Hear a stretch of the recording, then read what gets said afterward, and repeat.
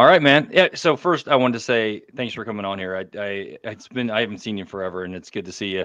Um, but also thanks for um, you know taking the time out to to come on here and and talk to me about the reason, the main reason. Obviously, you know we're friends, and you know we go way back. But also, your career is like a unique career. Like you've like you're not a typical um, Air Force guy for sure because you started out as an Army guy. So Yeah. that's and that's a there's only there's been a few of the few TACPs that have been that way. Um, uh, but uh, yeah, not, there's not many. You know, like Tavis Delaney, I think did it, and Yeah, um, That's uh, JJ Little, I think, is another guy that did it. And there's another think it was guy, in- man. There's a in Hawaii right now, um, who I was a like Delaney was another regiment guy. Um, yeah, he was like a platoon sergeant, but yeah, I I never met him, just know of him. Yeah. So that's a so it, that's a unique kind of a career. So I, I um, we're I think it'd be I think people find it interesting to kind of hear your story. So um, kind of what I've been doing is like guys we'll just uh, you know start from the beginning on what got them into the military and then go from there like as far as their career progression. Um, and then we can kind of come back and hit on some big stuff. I mean, I know you and I were both in Rhino and um, Yeah. did some time in Afghanistan. So um, uh, I'd love to hear your take on it, as well as what happened after you know I after I left ACO and Yeah. you you I mean you I eh, just real quick when I first got to ACO I don't know when, when did you first get to the range when did you Uh, I went through RIP uh, January nine. Uh, yeah, January '97. I was like a RIP holdover um, for like the holiday break in 90, uh, December '96, and then went through RIP uh, like right after New Year's, January '97. Got to Third Battalion Alpha Company like last week of January.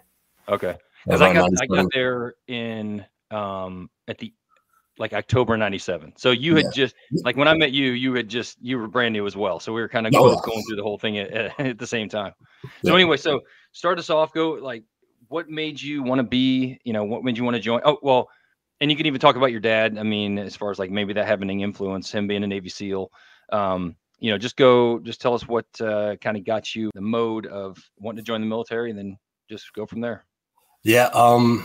So, well, like, thank you, man. Like, uh, a lot of accolades. Uh, but like everybody you've had on this podcast, like I've listened to every episode. I'm I'm a fanboy. I say that right now. oh Like, thanks man appreciate it um. So I just I'm, uh, I'm the same way i'm like i i love hearing these stories i think it's so fascinating. Yeah. no, hundred percent. And I feel like like everybody you had on is like obviously regiment affiliated because it, it's what we know, and like uh, obviously, but the career field is huge, and there's such awesome people in there too. But like everybody you've had on, I like I feel like I'm the even though I went through a rip and was like in regiment, I feel like I was I'm the least qualified ranger so far this on your podcast because funny? you've you've had absolute legends on here, man. So I just want to say that right off the bat.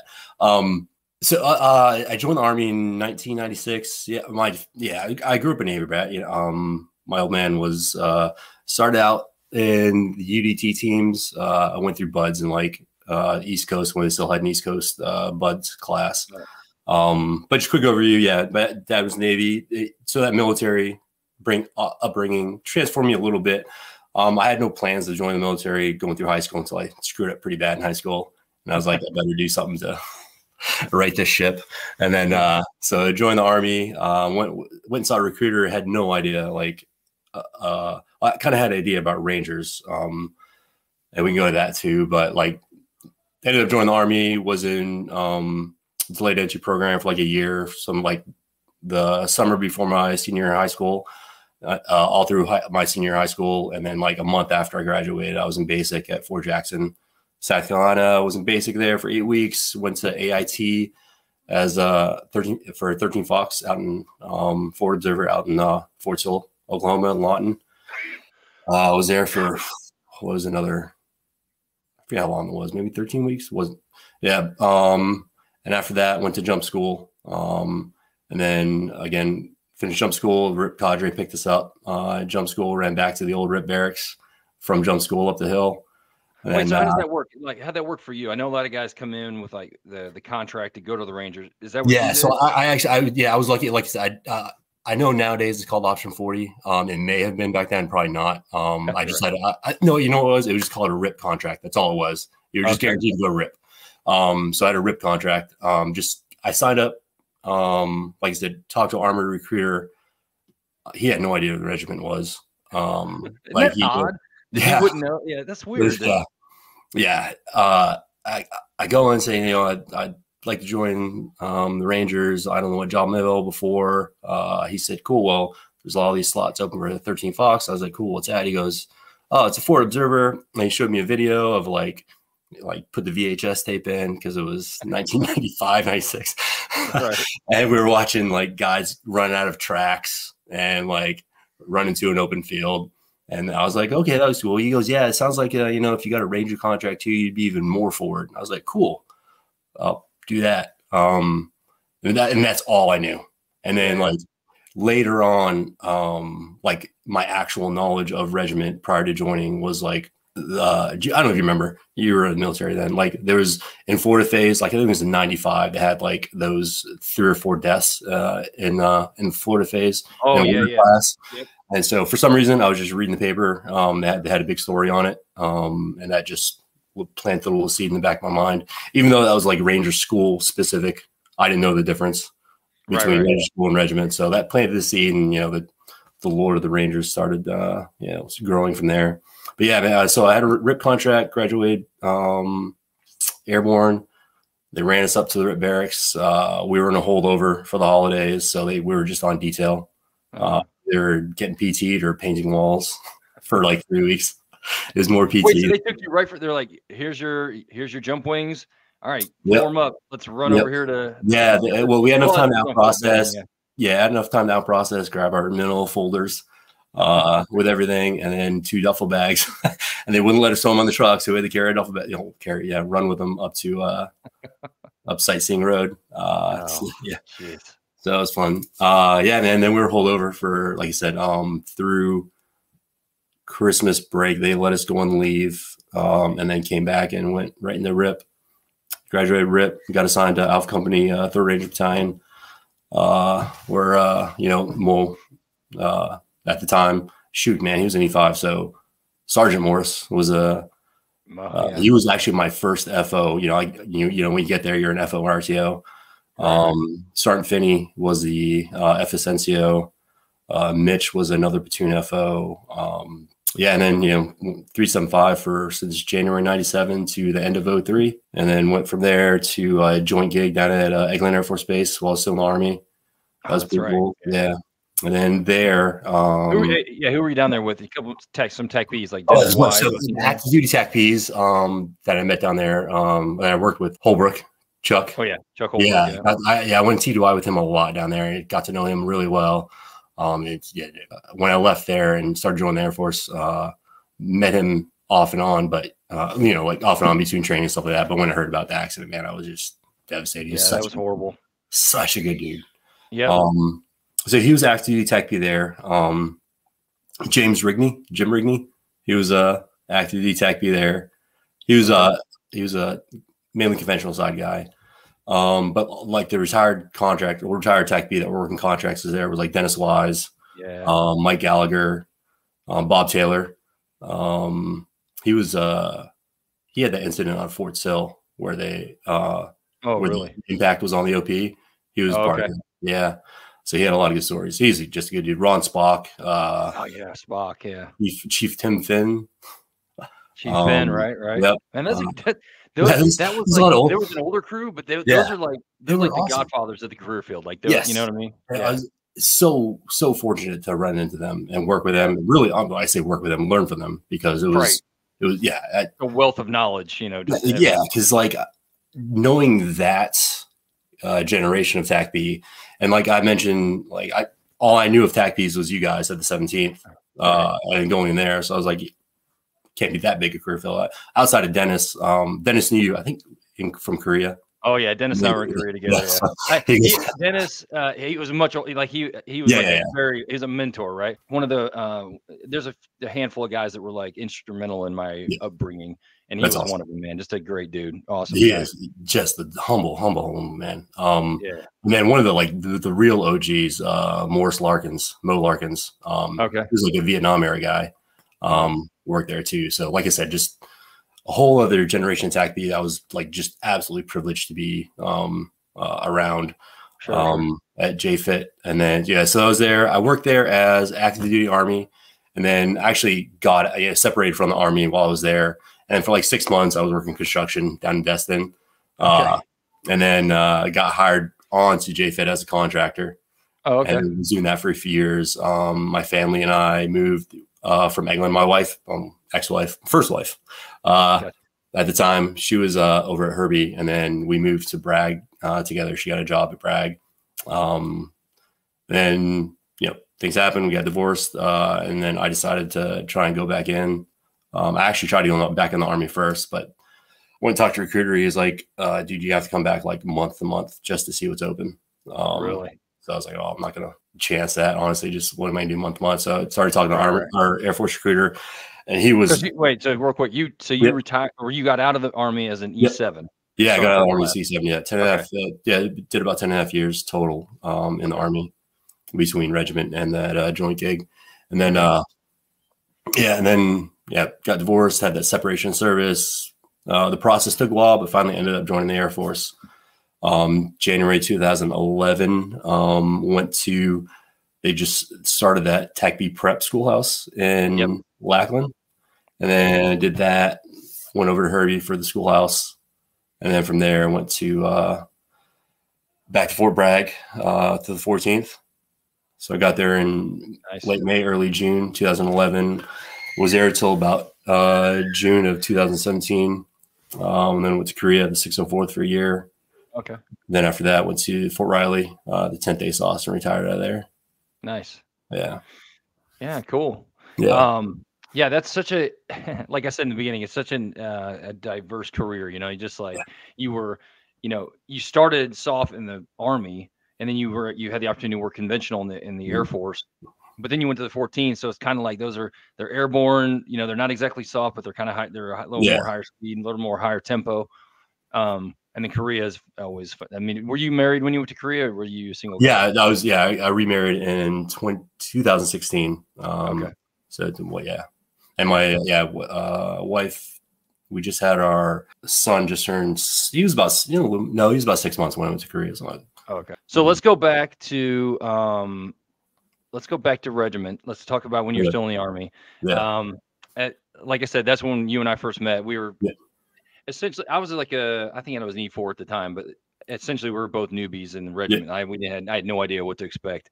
Uh, and um, and like you mentioned, some great dudes like you know Mo was there, Steve Morse. Uh, uh, Mitch Emery, you know, just awesome guys and who went on to do like great things at like higher the highest oh, levels of the army, oh, you know, like national level assets. Um, uh, which is that's very fortunate we had the opportunity to work with those guys. But then you yourself, uh, you know, you you also did those things. I mean, you were also you you started off. I, I remember we used to because I was like younger, so you and I and Mitch and everybody we all we were all kind of younger guys, so we'd all commiserate about you know this and that. Yeah. And then it, I was really happy to hear that you, um, like kind of surpassed that uh spec four mafia and went to the higher levels. You know, started being like a regiment guy. You know what I mean? Like, yeah, uh, yeah. yeah. So uh, I was really happy to hear that Um because um, I knew because I mean, and that's what I loved about ACO too. I don't know how the other companies were, probably the same because uh, we all had good JTACs there as well. But every time we would go out to the field, uh, it was like you, I wouldn't even have to do anything because it, it was you guys were so good at even doing all you know it, the way fire support and it's kind of like the way it is now with JTACs in, in regiment. But back then, you guys didn't have the JTAC status, so I was like the only no, JTAC. But you guys, but I would trust anybody in, in that team to do the JTAC mission because just the, how awesome you were. And Mo was like adamant about teaching us everything. And I don't think Finney was there when I got there. I think Finney had moved to. Um, yeah, he moved up to. I think he was up at Battalion. Yeah. Yeah. yeah.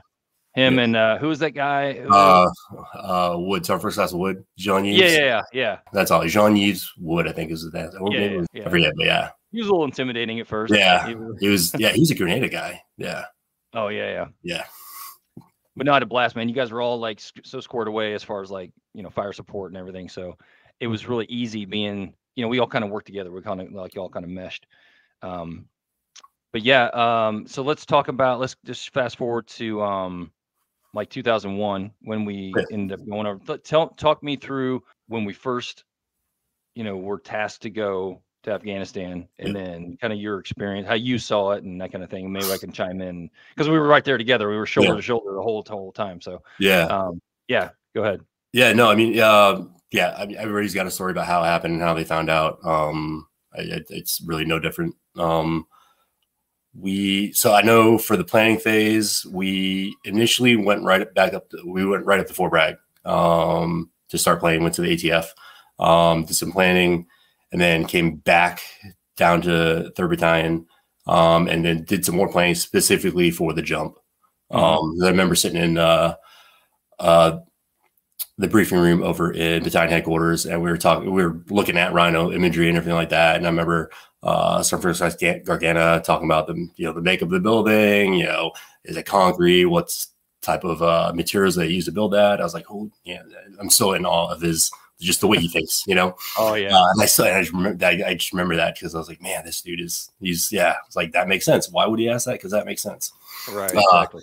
Uh, so yeah, we did more planning, um, and then uh, yeah. Uh, Wait, so real quick, so just to, mm-hmm. to cage this, Sergeant G was the platoon sergeant, or was he the yes. A? Was he? he no, was he was uh, third, he was third platoon's platoon sergeant, the one that third we did jump okay. with. Yeah, yeah. you were the um, you were the uh, time, Yeah, I just became the Alpha Company FSNCO. Yeah. Okay. Yeah. Yeah.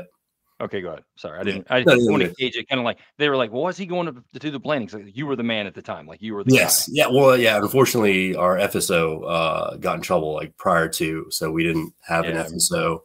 Um, still, still a good dude. I'm still in touch with them. Like for sure, hundred percent. And yeah. I think I don't even know what I don't. I don't even know all the details of that circumstance, but it, I was like, ah, that's sucks because he was a really good guy. yeah, he, is he really was. Guy. Yeah, yeah. So he's a great family man now. Um, yeah, he's doing he's doing great things.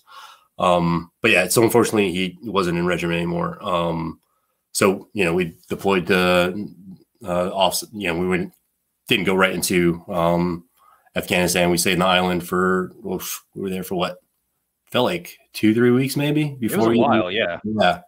Because I remember it became a routine, just like PT, chow, right. Uh, sit in updates, you know, chow, PT, like, and then like, are we gonna do anything? What's going yeah, on? Yeah, yeah. Uh, and yeah, I remember uh, the hangar that where all gear was stored at. Um, you know, the uh, the other unit was there. They were always running rehearsals. They had their their unit specific stuff there. That was pretty cool. Um, and then us, yeah, we were just waiting. Like I remember the build up to the jump in Iraq a little bit more. Maybe it's just because like in Afghanistan, I was just like everything was just coming to me. Like I was right. And, and once it happened, I just like deleted everything. right. Yeah. uh, but yeah, up leading up to the jump, man. Um, luckily, unlike Iraq, I just jumped in a assault pack into Afghanistan, so yeah. it, it, wasn't that heavy. It, it, was, you know, honestly, it felt like an MLAT. That's it, what I always tell people. It was like, 100% an MLAT it was like the exact. It was like we yeah. were just jumping into like I don't know, Addis, Anniston, exactly. Yeah, exactly. Yep. Something. Yeah. Yeah. Yeah, and it. I mean, think of, you want to talk about the resistance we met. It was kind of like that anyway, you know, because I mean, we hardly. It was like we just assembled and then we kind of yep. did some.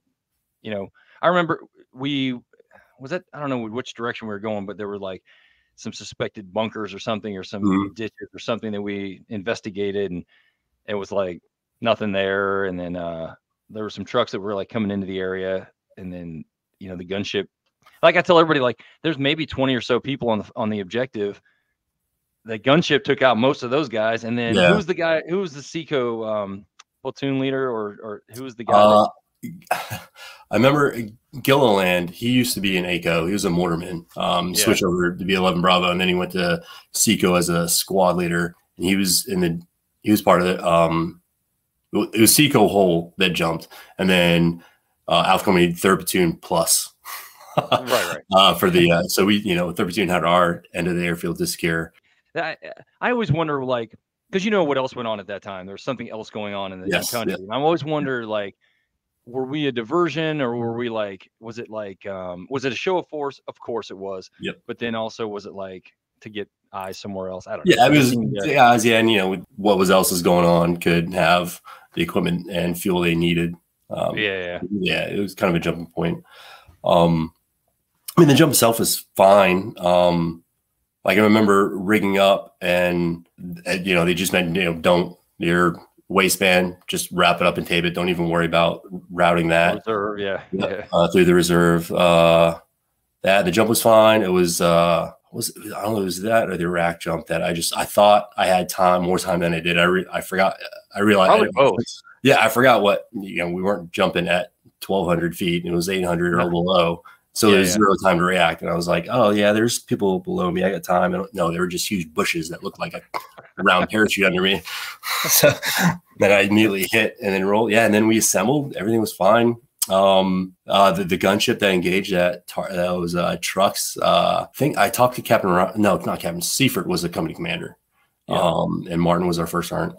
So I remember just giving him the update because we were talking to him, and then he he got clearance, and then we just I you know I give I, I didn't give clearance. I just told the gunship. Yeah, at that point the gunship kind of engaged. They like, yeah, is Go for it. okay. Yeah, yeah, Yeah. right. yeah. Um, so that was that was a big highlight for me. Then and then the biggest pucker factor, I mean, because I remember I think you and uh, Brandy and uh, I think it was uh, Matt Schleich when you were when they were asking you about it. The biggest pucker factor to me was ramp going up, us leaving while Yeah. you're getting the call that Oh yeah. it was AAA or ADA in the area. Yeah. Oh my god. yeah, I'm like, after all this, after such a Yeah. easy mission, and then we're gonna get smoked. It like, taking off, you know. Like, took my K pot off and sit on it. Well, that saved me. But yeah, for like 30 minutes, I yeah, I was I was super worried. oh, sweating Uh, bullets. I'm like, is yeah. it or this is it? Yeah, but yeah, Yeah. Was- from jump to assemble to uh, breakdown to loading the aircraft, um, felt like a very long MLAT man.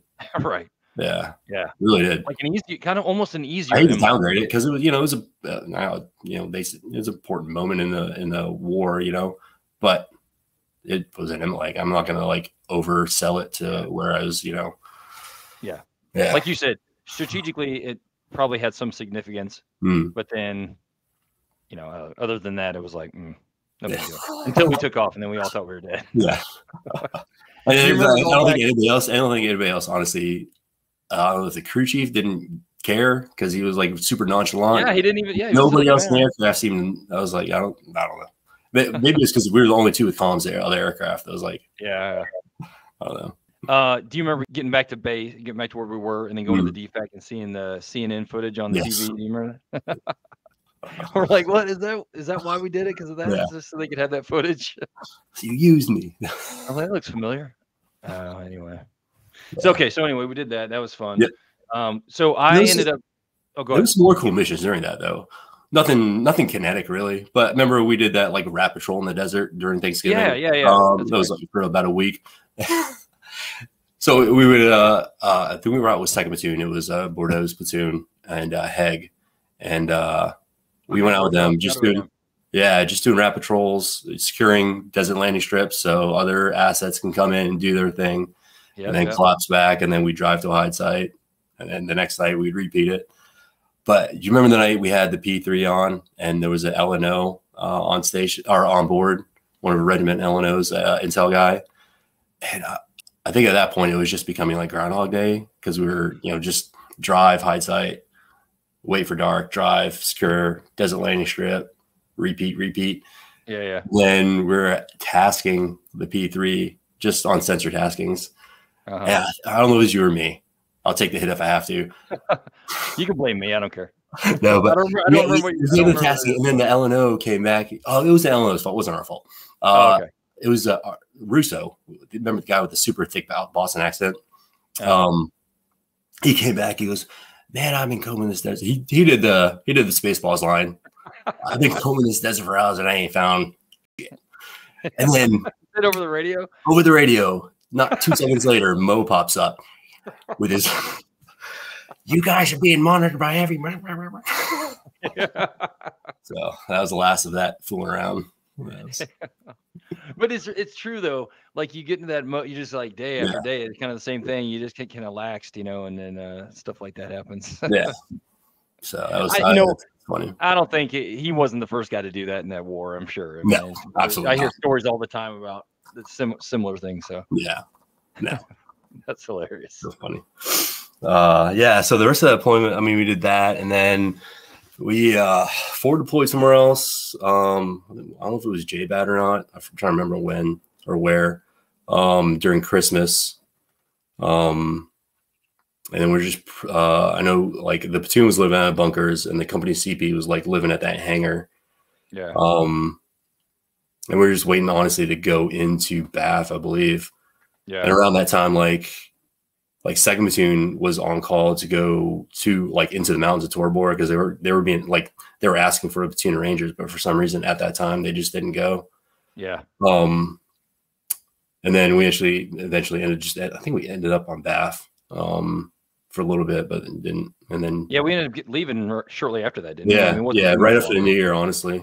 Yeah. Um, yeah, and that was and then first back came over and they just got after it, man. They were yeah doing all that Tora Bora stuff. Yeah. So we get back in January, and then that March we're in JRTC.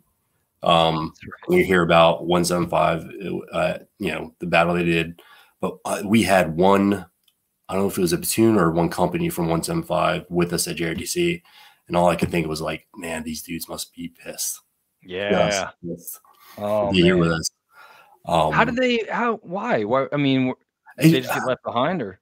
Uh, they pro- uh, like only thing I can think of is like maybe they, didn't realize they didn't need like for us like well third battalion was over there. They didn't need the whole battalion. I don't know why the whole battalion went. Let's keep a company in reserve. And while they're in reserve let's send them to Fort Polk. I don't know. What a kick in the balls. Yeah. Like not only did you not deploy and get after it with your with your battalion but you had to yeah. go to JRTC yeah. Jeez. Yeah. So yeah and uh, yeah and then like when we got back though you moved on. Uh, yeah. And so that's where our path split for a little bit. Yeah. Yeah. Yeah. So we'll go from there. Like, tell, yeah. Know, so I, I, I kind of lost track of you guys after that. So yeah. what, uh, what'd you guys um, do after that? We like, so between September of 2001 and April of 2003, it was trainer deploy, trainer deploy. Um, and I did a, like a, a professional development course I had to go in between. Like it was extremely busy, man. Like I had no idea. It was like it was just going from from 97 to 01, just a constant RS cycle where you know train up your R&R for F1, so you're not really doing a lot of outside um, Fort Benning training. So you're, you're just uh, sitting in Fort Benning doing local ranges. If you like right. enough to get a gunship coming Coolidge, that's cool. Um, then you go to a less restrictive cycle and that just repeated for like years and years and years. And all of a sudden, uh, the war kicks off. And then like, I don't, I was honest, I definitely was uh, gone more than I was uh, home, uh, which was fine. I wasn't married at the time. I didn't have a girlfriend. Sure. Um, I was stupid enough to get a dog. I don't know why I got a dog. yeah, but I, I gave it to a, I gave it to another uh, buddy with the family, uh, so that worked out for the dog. Nice. Um, so yeah, I was just gone all the time. Um, so yeah, between September 2001, April of 2003, um, my last deployment with regiment, it was like just deployed, gone. Because so get back January 2002, JRTC in March. You know, we had you know we had leave and then train up for JRTC, JRTC, prep for the next deployment. Um, I had to go to BNOC at the time, which uh, it's called something else now, like Order Leadership Course Phase Two or something yeah, like yeah. that. I don't know, but it's like for the Army, it's for like an E6 on um, professional development. So I had to go to BNOC like in uh, May, June out in Fort Sill. So the company already deployed without me. Not, I'll say without me, but the company deployed. A couple yeah. of us, I think Josh Thomas, he uh, stayed back too because uh, his wife was pregnant and she okay. gave birth around that time. So there's a few of us like on Rear D caught um, flights uh, a few weeks after the company and then met up with them in Asadabad. So I got to Asadabad June of 2002. We were there through uh, September, October. Um, that was a fun deployment. Um, yeah, yeah. That's where uh, who was with us most of the time. Um, Q was in and out of there. A lot of guys. Uh, Hank House was there. Okay. Yep. Um, was Billy there? I think Billy Otter was there. I know Billy did the jump with me with us okay. in in uh, in Iraq. Um, but we had at that time, I think that might have started the process where we had a JTAC with every platoon. Like every every time a platoon went out the wire, um, there was a JTAC in that patrol. Nice. Yeah. So you guys were just ran ragged. Definitely. Didn't Billy Otter go with us a couple times? Like when we did those rat that rat patrol thing, I thought, thought he was out, or he he either he was with us or he we met like a, a, a 130 would land out in the middle of the desert and Billy would get off and then we'd do something or I can't. He was there. He was around sometime. I, I just can't remember when it was. But anyway, but yeah. So yeah. So that, uh, that's when I met Mark. First met Mark Foster. He was in Asadabad. Okay. Uh, yeah. uh, I'm not gonna rag him now. Uh, so that was it. That was that was good for him. Um, we were in Asadabad the entire time up until yeah. we had to drive back to Bath and then just redeploy from there. It was awesome. It was just our company out there. Um, you guys keep actually, I met, I met, I met uh, Master uh, at the time, Master Lundquist out there because we oh, okay. had we had uh, special mission units roll in and out. You know, from there right, right. we had a ODA stay with us for a little bit in Asadabad. Okay. That's where I met Lunk. He was supporting an ODA uh, team right, there. Yep. Um, had an RD team uh, come rolling in and out at that time. I think they were there for the majority of the time we are there. They were there with us too. Nice. Um, so that was a fun deployment. Um, that was way more kinetic than the last one for sure. Really? Especially for especially for you know uh, Billy and Q and everybody. Um, yeah. and patrols. They were, yeah, it, it, was fun. Like, do you have any specific things that uh, come to mind at the, um, the run together? A lot of times, yeah. Will, um, you, when you get after it so much in a certain location, it all kind of runs together. So it just seems like, yeah, we were we were running and gunning the whole time, but having specific instances or is kind of hard to come up with. But you know, no, there was two, yeah, uh, just two that um stick out. One because I we've I don't I, I can say I and I think all of us on that patrol at that time we were coming back, and none of us have seen for some reason the road exploded in front of us. We're like, the hell just happened? like apparently, you know, it, you know, it was our first instance with with you know IEDs. Uh, that was right, in right. You know, the summer of 2002. Like we never prepared. I, uh, the only intel we got was because we were running like just gutted um, Humvees. We like ditched the RSOVs; right. they weren't applicable at that time. Uh, Humvees, yeah, the RSOVs wouldn't work out there because yeah, no tires, yeah, the terrain was too uh, bad. For tires, everything. Um, so we're, we're just running gutted up arm, uh, plated, anyways. I won't say up armored Humvees like the the um they had you know diamond plating in the back, but windshields are gone. Like bird cage. I mean, you're yes. just like windshields no gone, and... doors were gone, um, yeah. no rear. You know, it was it was just an open truck all the way around. Um, and so and I remember, you know, uh, any like intel threats we updates we get, it was, be, and I assume it's because we were rolling around in those open vehicles. It was like as you as you know, they were said, be prepared. You know, as you roll through uh, like Asadabad proper, when we got actually got into town, obviously we had to slow down so we didn't run over everybody. Um, as we are going through the market, like just eyes up because you know we got um, uh, you know hits of maybe they'll try and reach in, either grab a weapon or you yourself and drag you out. So we're eyes up on that. And, but I never recall ever like having intel about IEDs. Just it wasn't right. a thing then. Yep. So we're coming back yeah, from like all of a sudden. Yeah. Yeah. All of a sudden, like the road just exploded. Like that's uh, a thing. Wait, yes. You know that's a thing. um, yeah. We don't have that. So, uh, that, and then it was, so we are there. Um, it disabled one vehicle, zero injuries. Thank God. I don't know how that happened. Um, uh, but you know, found the command wire and just, there was a town as we're, you know, you're limited to where you can drive out there.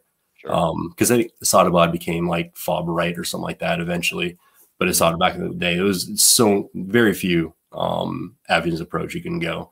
So you know, you found you know they um, found the command wire that uh, deaded it and ran it to a town down the valley.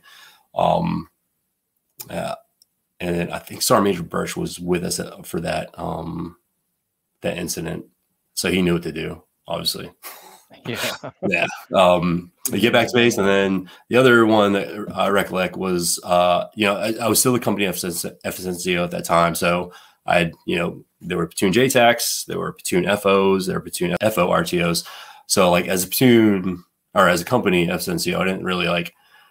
I we had an FSO at that time, thank God, uh, Russ Ripiso. Um, yep. So he would be with the command element wherever Captain Ryan would go. He'd tag along.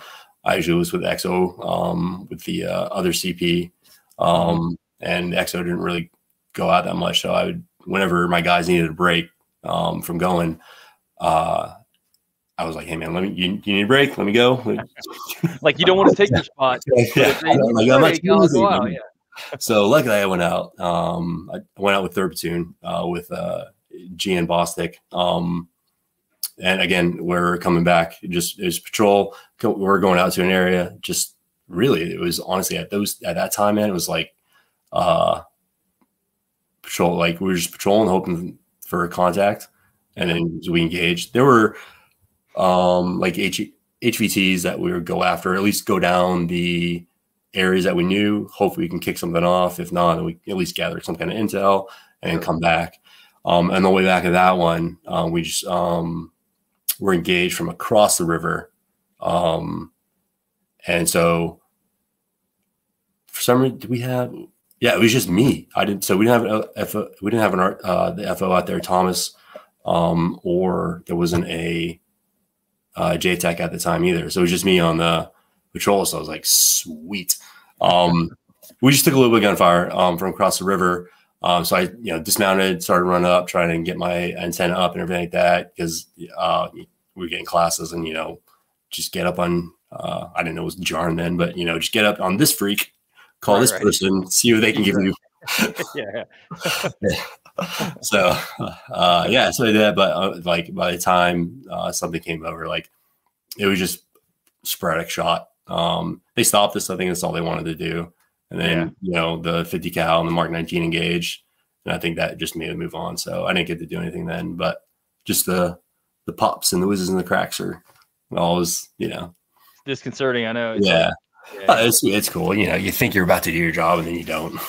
Right. That, that's um, the bigger letdown than getting shot at. Yeah, like, oh, exactly. yeah, yeah. The other time, um, during that deployment, um, our XO Paul Karen, um, he and I were. So I told you about this. Like a, we did our recce mission uh, in yeah. downtown Asadabad. So there was um, a target in Asadabad that uh, they needed intel on, just as, of this compound. Like, uh, can a Humvee fit down this alleyway? Um, what does the gate look like? Is the lock on the inside or outside? How high are the walls? Blah blah blah. Stuff yeah. I like just seemed like a salute report back in the day, you know um, sure. as you were walking. But they were like, well, obviously you can't make it too obvious um, uh, that, you know, we sent a bunch, you know, we didn't really walk around the town anyways. We always drove through to go to another area. Mm-hmm. Um, so we're like, I don't know whose idea it was, but Paul came up to me, he threw me uh, a man dress and he was like, Hey man, put this on. You and I are jumping in the Hilux with the two terps and we're driving to Asadabad. Oh my like, God. basically, because we were the two like tall, skinny brown guys, not too right. dark. yeah. right. You guys fit the profile. Yeah. Yeah. At first, at, at just a glance, you're good. Yeah. yeah. And uh long you don't talk to anybody or anything. No, no, definitely not. Uh so I was like, what do I do? He goes, just hold my hand while we're walking. That's what they do. I was like, okay. I was like, how do I hide my M4? He goes, No, we're not taking M4, just take your M9. I was like, with my holster? He goes, no, if just wear, here's some 550 and tie it around your waist. You know, I was like, oh my God, this is so stupid. I'm to die. I'm to die. Uh, but it, I mean, it just, it went without um, incident. We rolled down with the, um, the Terps and then, uh, you know, parked away from where we were walking, walked through. Uh, God, it was, I felt trying to be nonchalant, but like, how do you do that? Oh my god! I bet you know you you think it's it's cool, but it's yeah. also like, man, I get smoked anytime right now, you know, or just yeah. get rolled up, yeah. or you know, like I, my head cut off on CNN or what? And, and, like I'm walking, like I've never walked with my, uh, you know, uh because uh, all I had was 550 tied around my waist and snugly, so my Beretta could, fit, you know, get in there. But I knew like if I walk at my normal pace, it's going to either slip out or something. So I like I'm trying to shuffle but not look like it was just it was a yeah. it was just, yeah. it was it was funny but after the fact but yeah yeah. Isn't it, yeah none of that stuff's ever funny at the time but yeah. after yeah exactly. Yeah. And the worst part was like he got he got the cool he got the shepherd's hat like oh yeah? masculine hat and I had like the little square cap probably meant like oh, I was a schoolboy or something like that. So it was. I'll send you the picture, man. It was funny. I want to see it. Yes. so that went without, and then you know we came back, talked to Captain Ryan, and gave him the info, and the hit never ended up happening. There's a there's a lot of potentials um, during that deployment. Some panned out, some didn't. Yeah. Um, but it was still like just the constant patrols that went on. Um, not all saw action all got engaged, but more often than not, they did. And the actual Asadabad itself, too, like one night we uh, came under attack. Um, and that night, like I want to say it was Billy that was working uh, A-10s on the ridge line, like to the uh, the rivers to the south, to the north of us. Um, yeah, so that was cool. But, they like shooting rockets uh, at the base. Yeah, they uh, shot rockets. Uh, the whole time up until this night. Um, you know, daytime activities as normal. At night, headlamps, red light, or nothing. Um, there was, uh, you know, a curtain over the cop or over the CP. So you, walked in, you know, you the light wouldn't shine out in the um, into the courtyard area. So, but for this night, he's uh, he decided like for some reason we can have a barbecue, and so there was like, so the cooks were like cooking up hot dogs and steak, and it was the first like non-MRE meal we've had in a while.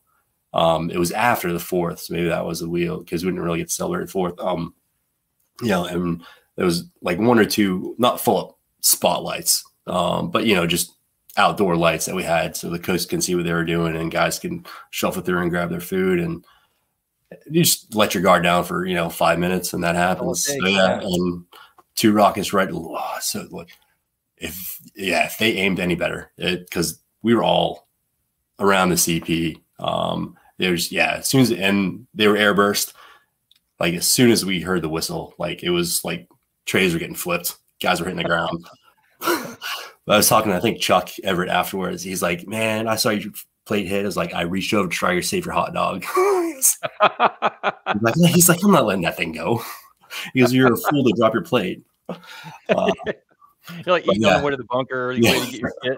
Like I'm not gonna let this go to waste. But yeah, and that's the thing too. Like after that happened, we're you know just range panties and brown t-shirts and boots, and guys just grabbed body armor, threw it on, got in the trucks, rolled into town, um, and brought some people back too. Um, uh, that stayed, you know, that later shipped off the BAF, I think. So yeah, it was, it was that was another yeah another cool thing that happened, I guess. Nice. Yeah. Yeah, it's funny how you yeah once you you get that false sense of security sometimes uh just because you're there for so like it's i don't know what you call it I, there's a name for it but you just get day in and day out it's the same thing and nothing happens and you get you're used to it and then when something and then when something does happen it's like very catastrophic because you're not yeah. you just haven't been ready for it yeah but well i'm glad nobody got hurt i mean that's yeah yeah during that deployment uh like the biggest uh I know some of the guys, Mark, I talked about it too. Like malaria just hit the company hard. Yeah. Like dudes were, one guy came back, didn't know he had it, um, went to pre ranger after deployment, um, and in pre ranger was like during the I think five mile run or twelve mile ruck was just he was just like powering his his way through it. Like he's like I am not not going through pre ranger and not not going through ranger school to the point where he passed out, and I think he had kidney issues for the rest of his career because like he didn't know he had malaria. Like he was, and he thought he just had the flu. He's like, "That's cool. I can, you know, whatever. It's a flu." Um, Hank House got super sick while we are out there. Oh, did he? Um, yeah. Uh, bunch of guys got sick out there, and yeah, and, and post deployment too. Actually, I think post deployment was worse because it was hitting guys. Um, it hit me after Iraq, um, so almost a year after we got back uh, just yeah. So you think so? You got hit with you think you got hit with malaria while in Afghanistan, rotated back, deployed to Iraq, and then after it took that long to kind of get through your system. Yeah, because I don't remember being um, outside of like, uh, well, like we'll get to it later, but like when I when when Alpha Company finally got to the dam after you know everything Beacon went through, um, I was able, to, you know, we were able to finally wash ourselves, and it was in Haditha Dam, which was cool. But oh, yeah. um, but just the way from the Asadabad deployment, like the SF team that was there, uh, before them, we were just showering with water bottles um, when we could, or it, I think it only rained once or twice while we were there. Um, yeah. So if it rained and we happened to be on Asadabad, we were, you know, just ran out and lathered up real quick and rinse off in the rain. Um, but the the engineer uh, I think gave us like right behind our I don't want to call them tents. They were like old canopies that we propped up with uh, posts. So it was like an open open tent living area, just cots under a tarp really. And behind us, the uh, engineer dude. He set up like four shower heads for us. He ran, well, he helped the locals run wire or wire, water and everything like that. So it was really just like gravity fed water. Uh-huh. Um, but so we are like, cool, we got showers. Um, but like, I didn't see it myself, but the story was like guys were patrolling, running down um, on patrol, leaving the gate, uh, went up, drive towards the Sadabad, and that's where the water would come from. And they were like, they thought it was a rock uh, in the stream, but for some reason, it somebody somebody went up and looked at it. It was like, is a dead bloated donkey oh, that just like lost all it is. so Oh, that was man. into the shower. So to me, I could put two and two together and realize how guys. Yeah, but I don't know. Man, you're lucky that's all you guys got. I mean, Yeah, it I could have know. been anything. Oh, Yeah. So that was that. Um. So yeah, that was uh, that was that was that that was a fun deployment though. As Yeah. definitely higher pace than the first deployment, way higher pace. for sure. um not as you know connect as everybody hoped it would be you know but Yeah. still it was it was starting to progress that way as as you know as stupid as that sounds like people were starting to i mean that's what you do you want to get in the fight right right. um so yeah it well, was you're there starting for a jo- you're there to do a job. yeah we're not there to and you know it's frustrating when you're you, you keep going out you keep going out and there's no you don't you're there's no result there's no Yeah. you know you want that uh yeah you want some sort of end state yeah Yeah. for sure yeah that's why i think so that night we got rocketed because of the barbecue um when guys rolled out to that town they were super aggressive. Oh um bet. when they rolled uh, and they brought the guys back there was yeah it was yeah it was good. How dare they interrupt a barbecue? Don't they know Yeah, yeah. they're americans? Yeah. Barbecue is sacred. All right so that was was that your last um oef deployment before iraq? Yes, yeah, yeah. For third battalion, it was. Um, so we got back um, in September, uh, early October of 2002. Went on leave, came back, and then like the rumblings of uh, Iraq started, you know, happening. Um, since we had leave after deployment, we didn't get leave over Christmas. We all stayed around. We pretty much started. It almost seemed inevitable. Inevitable. Just started prepping for Iraq. Honestly, Yeah. Um, it spent and it got in full swing in January. Especially, I remember watching in Sergeant G's office, like watching Colin Powell at the UN. You know, bring out the vials. And we're like, all right, well, man. So it, yeah it was like full on uh, prepping for uh, um, Iraq at that point, and then uh, so Colonel Bannock was the third battalion commander. I don't know why uh, we always got the jumps, um, or why we jumped. Sometimes you you wonder like, was Yeah, the like jump, who- was the jump, are, are all these jumps necessary? yeah right, Uh, right. So, but uh, we're you know tagged in for newer jumping in. Um, so we did a lot of. It's kind of like you know, like the Somalia guys. Like they knew it was happening. It was just a matter of when. And before they even left for Somalia, they were doing all sorts of projects. Like they go out to Fort Hood to mock ups and train there. They you know Sure, back sure. in Benning. So that's kind of where it was. Like we would just like I remember, you know, yeah, how it was man, like walk through, dry run, dry Yeah. night. So that's what it was for day live night live Yes, yeah. So I remember we they set up a mock up over by Fryar. It wasn't on Fryar. It was like a small strip outside of Fryar Field. Um, and we literally just walked through phase by phase, piece by piece of the jump uh, into Iraq, which would eventually be H one. Um, you know, they had the engineer tape out. Uh, Yeah, yeah. at, you know, this phase, you know, oh, you know, these are the assets. This is the task conditions. Like, but that's what we did. Like we walked through step by step as we would with an MLAT, you know, it wasn't any Sure. different, which is the whole point of, you know, like an MLAT is feels like that because that is what we're doing. Guess what? That is what we did. so it was, yeah, you know, funny, yeah. We say like you know, Rhino was like an MLAT. This was like an MLAT. It's like that's that's the whole point. That's why we do Yeah. that stuff because it, if, that way when you get there, it's not new. It's not Yeah, like, now what do I do? It's like no, I know what to do. I know exactly. You know, I know go over here and I link up here and I do this. Yeah, yeah, Yeah. Make it second nature, kind of. Yep, yep. So I remember we did that and January, February, uh, or really January of 03. And then for like the live walkthrough, we jumped into uh, Holland uh, DZ uh, okay. on Fort Bragg. It's a huge one out in the yeah. western uh, part of the, the Fort Bragg ranges. Um, so yeah, we jumped to Holland um, and then just, you know, did that. We're there for, honestly.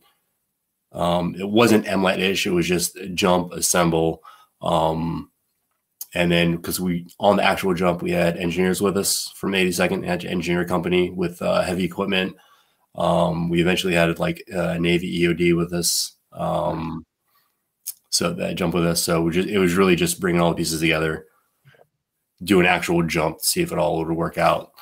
And then, uh, so I was still company FSNCO at the time. Uh, Paul Karen was still the XO. Captain Ryan was still the commander and Russ uh, was still the FSO. And remember, uh, while we were waiting on Holland, um, you know, running piece by piece through everything, uh, Paul Karen, his dad, um, I don't know if you knew this, like his dad was sergeant major of uh, the unit. Oh, I didn't. Uh, yeah, yeah, I guess I didn't know that. Yeah, yeah. Yeah. So, but at this time, his dad had retired, and is that actually, you know what? His dad was actually a guest speaker like before he retired at one of our Ranger balls. Oh, and, yeah. like, and if you look at him, he's the most unassuming dude. You like no Ranger tab, no SF long tab. Um, obviously, you know, he's uh, airborne, free fall, everything. Um, but just an unassuming, small, not not, not a big frame guy. Paul, like it's just, Paul's not. He's yeah. unassuming as well. I mean, he was a yeah. kind of smaller dude. So he's given it, you know, he's he's the guest speaker at one of our Ranger balls, and I don't think he was a soft spoken guy as well. And I don't think anybody actually knew, like, like paid either paid attention or knew like how badass this guy was. yeah, yeah, which is even more badass than a regular yeah. badass. So while we're on Holland, um, Paul goes, "Hey man, uh, why don't you come with me? Um, are you hungry?" I was like, "Yeah, I'm hungry." Uh, he goes, "Come with me," and then so we started walking away from the CP and to the edge of the um, to the edge of Holland, there's like a little mount complex there. Yeah. Um, and there's this little like I don't know, was a Nissan or Ford or Ford or Nissan or Tacoma, like small ones, you know, not like a um, not an extra cab or just single cab Tacoma, not even a four by four, just a two wheel, two wheel yeah. drive. Um, and he goes, "Come on, let's get in." He goes, "This is my dad." Uh, he was like his dad at that time was like the like the safety guy over there, you know still working over there. But uh, so his dad drove us onto the compound and then like brought us to the chow hall while we're in while we're in JLIST and our you know our our pro mass is flopping at our side. yeah, he got his chow and that's awesome. Brought, brought me and uh, Paul back to the DZ after that, and then I think that night or early the next morning we you know uh, uh, broke down and then loaded up and headed back to Benning. So was pretty funny. That's awesome. Yeah. You know what? Uh, I was I was I was obviously like a total fish out of water. I had no idea what like I'm gonna get like either yelled at because I'm here or like people are gonna look at me like I'm crazy. They were all cool. Yeah. They just sat down. So amazing. It, yeah. I have very very a very small uh, interaction, a very small exposure to it, but it's from what I have seen and what I've been you know done there. It's just amazing. It's like the yeah coolest place. I mean, and I can imagine why people would want to go there and work. You know, that's yeah. uh, it seems like a just phenomenal place to be. Yeah, yeah. So that, that was that was super interesting. And then, uh, like I said, uh, back to reality. We got back, you know, back to Benning, and then just um, when we deployed, uh, we were lucky enough to not go to. I think because Alpha Company as a whole was at Asadabad while the rest of the battalion at that time was at Bath, living I won't say well, but living better than open air tarps and you know cots right. um, and water. So uh, yeah. I was back in Asadabad too, just like just even not even thinking about it, like it, totally normal. Like uh, our latrine, open air, diesel cans with plywood and uh, you know just a toilet seat and you know cut out and then toilet seat placed on it. It was like nothing. Yeah, but just thinking about it, it's like how you know, it was like it, I'm it was, telling you, man, the, the early days of that invade that of the war, if you were at an outstation, you were not you were sucking. I mean, you Yeah. were not living well. I mean, I used to, I spent some time at Shkin and um, you know, at uh you know, like Orgun-E or any of those places. It Mhm. was like that. It was like you had to you had to just figure it out. You had to like, you know, burn your own burn your own crap. You know, That's it. that was Yeah, that was it a, was- that was a daily detail. Like so, you know, right. yeah, It it just had to be done. Yeah. Yeah. So uh, terrible living conditions. I think the um because Alpha Company was out there the, the entirety of that second deployment, um prior, you know, we um got to stay on PSAB, uh Prince Sultan Air Base, I believe it was called. Okay. Uh uh while the rest of the time was like at some austere place. Like Oh, just really? I heard it was horrible. Like the winds, the sand, it was horrible. So we were living Oh. fairly large prior to the jump, I will say. Nice. Like for what it was. I remember Billy getting, and Trent Joy was with us then too. Um, Oh, okay. Jumped in with the Sioux. Uh, Billy somehow getting hands on like an up armored like caddy or something like that. I think it was just, and we he'd take us to the jowl once in a while. I think it was like a hoopty that was just like heavy. It was like dropped to the ground. So it was so Yeah. and the, and the glass and everything. So that was funny.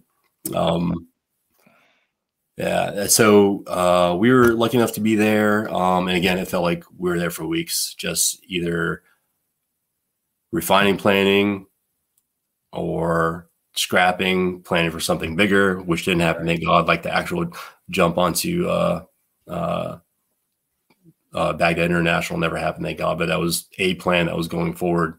That was going to be a regimental plus jump. Um, Don't you think that'd have been brutal? Uh, that Oh, seems like it would have been like just kind of a lot of 80 casualties. alone going into like that would have been i yeah yeah i i the like they say you know like the acceptable casualty rate is like 30% or something like that just you know hearing that alone it's like holy Yeah. And you Yeah, definitely probably, like- probably would have sustained that. uh, oh easily yeah Yeah. absolutely and Probably why you didn't do it, frankly. yeah yeah, I mean, uh, I was uh, like Band of Brothers is one of my favorite series ever.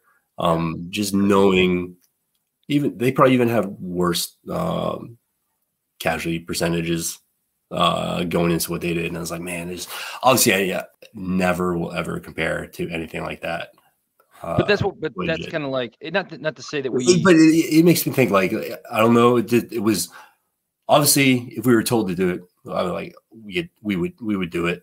Sure. Um, but like is the just the way even you know twenty it's been twenty years now. Like is do people not want to see that? You know, like Yeah. that I many. mean, well, I would venture to say that even when they did it back in, you know, World War II, it Yeah. probably wasn't necessary to take that kind of risk. They were probably Yeah. just like, "We're we need to do this." Mass and force, My like, God, we're doing it. Yeah, yeah, Yeah. They were they they didn't take any consideration soldiers' lives as much as we do now. Which so that's you know so that yes, those guys are heroes, and uh, you know I have the utmost respect for them, but their leadership at the time probably wasn't didn't have their best interest in mind. You know what I mean? Yeah. So whereas we when we were there we were we had the luxury of having guys that were they were hard chargers but they were also like look i don't want to get a bunch of rangers killed either or i don't want to Yeah. get a bunch you know so they were like let's they had to temper the plan to be like yes we're going to kick kick ass but we also want to keep our guys alive so you know they had to which is how it, you know the the h1 thing probably came to fruition you Yeah, know? yeah. So I think that was the plan always. So they obviously buy up, scale down back to the originality. So H1 was going on. Um, I uh, was it C Co or B Co was hitting not simultaneous, but around the you know it was gonna be another jump with I believe Charlie coming again or Bravo Company um onto H3. Um, but yeah, Alpha Company plus an 82nd Engineer Company plus um, a team of Navy EOD dudes. Um, and then other strap hangers, you know. Uh, but uh, so yeah, so the jump into Iraq, um, yeah, uh, we were lucky enough to be again. It was just like planning for weeks. Um, when it finally happened, um, the ruck was a lot heavier because we weren't coming back to where we were. Oh, we were in the country for all. It was a heavy ass ruck, man. Yeah. Luckily, um, it yeah was, what was the plan i mean if you can go into it like what Yes. what was it to set up that airstrip or was it to know, it was uh, so we it was a strategic uh airfield for us and Iraq. So they were going to, and they already did um, uh, put barriers on the airfield. So they um, either vehicles that would you know park on the airfield, pop the tires. They would dump uh, sand piles or rock piles on the airfield. That's why we had the engineers come with us. So we knew we wanted to hold the airfield um, to make it as a obviously you know you had the mechanized force just kicking ass, going driving balls to the wall into um, Baghdad, and H one, H three, everything was kind of out to the west. So that mm-hmm. was going to be a, a there really wasn't much out there um, for to sustain. So if we took that airfield, it could be a leapfrog point. It, you know, we jump, right. secure the airfield. We can run missions out of there, but also like um, they can we can bring sustainment in there as well. Oh, fuel, okay. okay. Uh, fuel, everything like that. It become a just a mini hub um, to come from another area, refuel, rearm if they want to make it a FARP as well, and then go to other places in Iraq. Gotcha. So I think that was a big, like the big picture. Okay. Did you guys um, um, meet any resistance there, or did, was it? No, absolutely. Nope. Uh, uh, at least for H now zero. Yeah, it was just it was just um the all the runways either they either dug holes in them or they put some kind of barrier in them. So the engineers were super busy. The jump itself was fine. Um, the same thing. Like I just didn't track. We were jumping lower than usual. Um, I hit my knees like super bad. Um, did you land on the um, on the runway or did you land off? No, I landed off. Thank God. Okay. Yeah. Um, and then assembled. Uh, like we just held security around the airfield, honestly, for like days um, before the engineers could finally have it 100% cleared. Um, CCT was able to do their uh, runway assessments, oh, okay. um, and then things are start flowing in. Like uh, um, rotary wing assets started flowing in, um, so they can run missions with their customers. Um, we actually had a few A-10s, remember, come uh, fly in, probably plan with. Uh, oh, they landed there. Yeah, they, that's pretty cool. Um, yeah, I have the worst war story. Sorry, man. I know this is. no, no, no. This is awesome. I uh, the the fact that's what I love about like kind of what we do. Not we, uh, the collective we, like uh, the U.S like we're like we're, we're gonna you know we have the assets we have the means we have the talent to set up something like that in the middle of nowhere you know and bring in anything we want bring, you're bringing like attack fighter jets into the this austere remote you know remote location um resupplies and helicopters i mean it's just a it's a phenomenal um indication of what we can do you know what i mean yeah. i think it's i think it's awesome so then how long did you guys stay at h1 uh, the jump itself was yeah uneventful. Um, started planning things to do, um, future missions. Uh, honestly, like the whole time we knew the rest of the battalion was out there. Um, I remember B Co rolling through to go to the dam. I didn't know the significance of it at the time because uh, uh, like we had a, a, while the dam was going on, um, we were kind of uh, doing some rap patrols as well. Uh, we just have companies come out. Uh, we stage out of H1, um, and then we take platoon. The com- uh, company commander would just task platoons to go out um, for patrols. Then just one night, uh, we went forward to like an oil refinery. Um, and it had like almost the whole company out there at one time uh, really, I think while we are out there, we uh, it was kind of cool. I, I, had no idea like they had like a, a little town associated, like almost like the oil refinery workers would work in this little town. So we had to clear through there, and then onto the oil refinery. Actual, we just I think we just sh- shut the oil off. Honestly, make sure that it couldn't be used. Because I remember Captain Ryan going, he's like, "Hey, cool, we just cut the oil off to Syria," and he kind of turned around. I was like, is that, is that just, is that real? yeah. We just did that. Uh, yeah. We were supposed to do that. I guess number one, we were supposed to do that. so at that point, we are amassed and, and the company was in a smaller area. So he sent two platoons back to H1. One platoon stayed out by the oil refinery and they were doing patrols from there. Um, so I think uh, at that time it was second platoon and the company CP, so Captain Ryan and Russ, uh, the FSO. Um, and then that's where they had the incident where it was April 3rd. Um, so just after the fight at the dam or during the fight at the dam, um, we, they were setting up um, block positions along a road. And then Russ with the company CP was just up a little bit higher on higher ground. Um, and the platoon had blocking positions uh, down on each side of the road, east and west, I think. Um, and then they were letting cars through, but like they weren't, uh, they'd stop just random ones.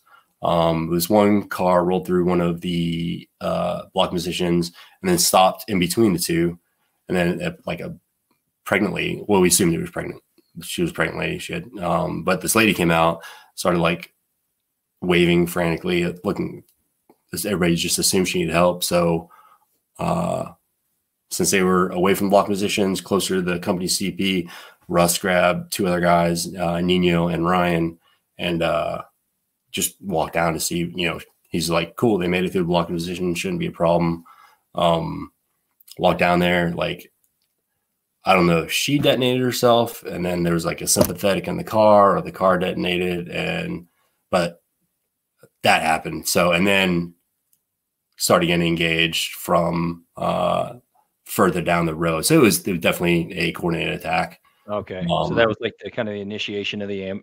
am yeah, yeah, that was yeah huge. I was a yeah. Um, started starting getting engaged. Um, had to, I think uh, Billy was out there, so he brought in aircraft. Um, the gun trucks were engaging. Uh, and then once everything calmed, like no force came up. I think they were just trying to like cause a disruption, see what kind of mayhem they can do, and then you know, um, just cause destruction and, and then you know make us uh, uh, deal with it after, which we did. Yeah.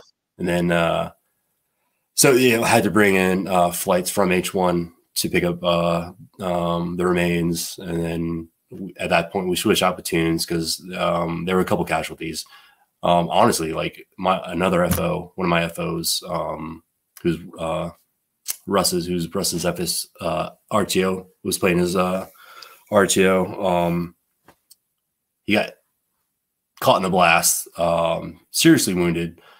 Uh, shrapnel just embedded in his abdomen, you know. Um, but he was lucky. Obviously, you know, uh, landed. You know, got eventually shipped to Germany. They um, uh, were able to uh, save him and everything. But they said, this is what he said. I don't know if he's just saying it to, you know, de- you know, self defamation, you know, to make everything, you know, make it feel seem like he's not uh, a big deal. He is because he survived a, a hellish thing. Yeah. Um, he's like, yeah, man, because because at the time it was it was a few weeks in, and we were still eating MREs. And he goes, the doctor said the only thing that saved me is because I was so impacted from, you know, I couldn't shit and I was so impacted, like all that shrapnel wouldn't go through me. what? I don't know if he was serious. That was, wow. yeah. So he was he was messed up. He's a he, I think he's retiring this year. He uh, eventually um, he was in rehab for the longest time. He had really yeah. Some really bad um, abdominal issues, um, but was able to uh, stick uh, stick out his military military career. So that was good for him. Yeah, it's always nice when like guys like that, that sustain like kind of a serious injury. They the military is good about keeping them in, especially like, yeah, you know, in the soft community. You know, yeah. I remember, I can't remember if it was when if we. Do you remember? I thought it was when we first got over there, but we there was like a seal walking around with like a fake leg. Do you remember? Do you remember that we're in the mess hall at some place? I don't know. Maybe I don't know. Maybe you weren't there, but yeah. I just remember looking over and this dude was like, he like had glasses on, hat on backwards, beard and he had like shorts on, and then like he had like one leg, and he was like just you know going on missions and doing stuff. I thought it was the coolest thing in the world. You know, like yeah. Uh, most guys, most humans, once you sustain that kind of an injury or even that kind of trauma, you're like, all right, that's it, I'm done. Yeah. You know, but yeah. these they're like guys like you're talking about, guys like I saw, and multitude of other dudes were just like, yeah, I'm getting, I got to get back into it, and they were, I mean, it's really commendable when they, when oh, yeah. Like yeah just yeah, especially throughout the entirety of the war, like the guys that wanted to come back, and that it, yeah, it's amazing. Like yeah. most guys would like, yeah, most normal people, I suppose, would say, okay, I, I did my part, but yeah. you know, there's something That And, uh, and to their def- and in their and they did.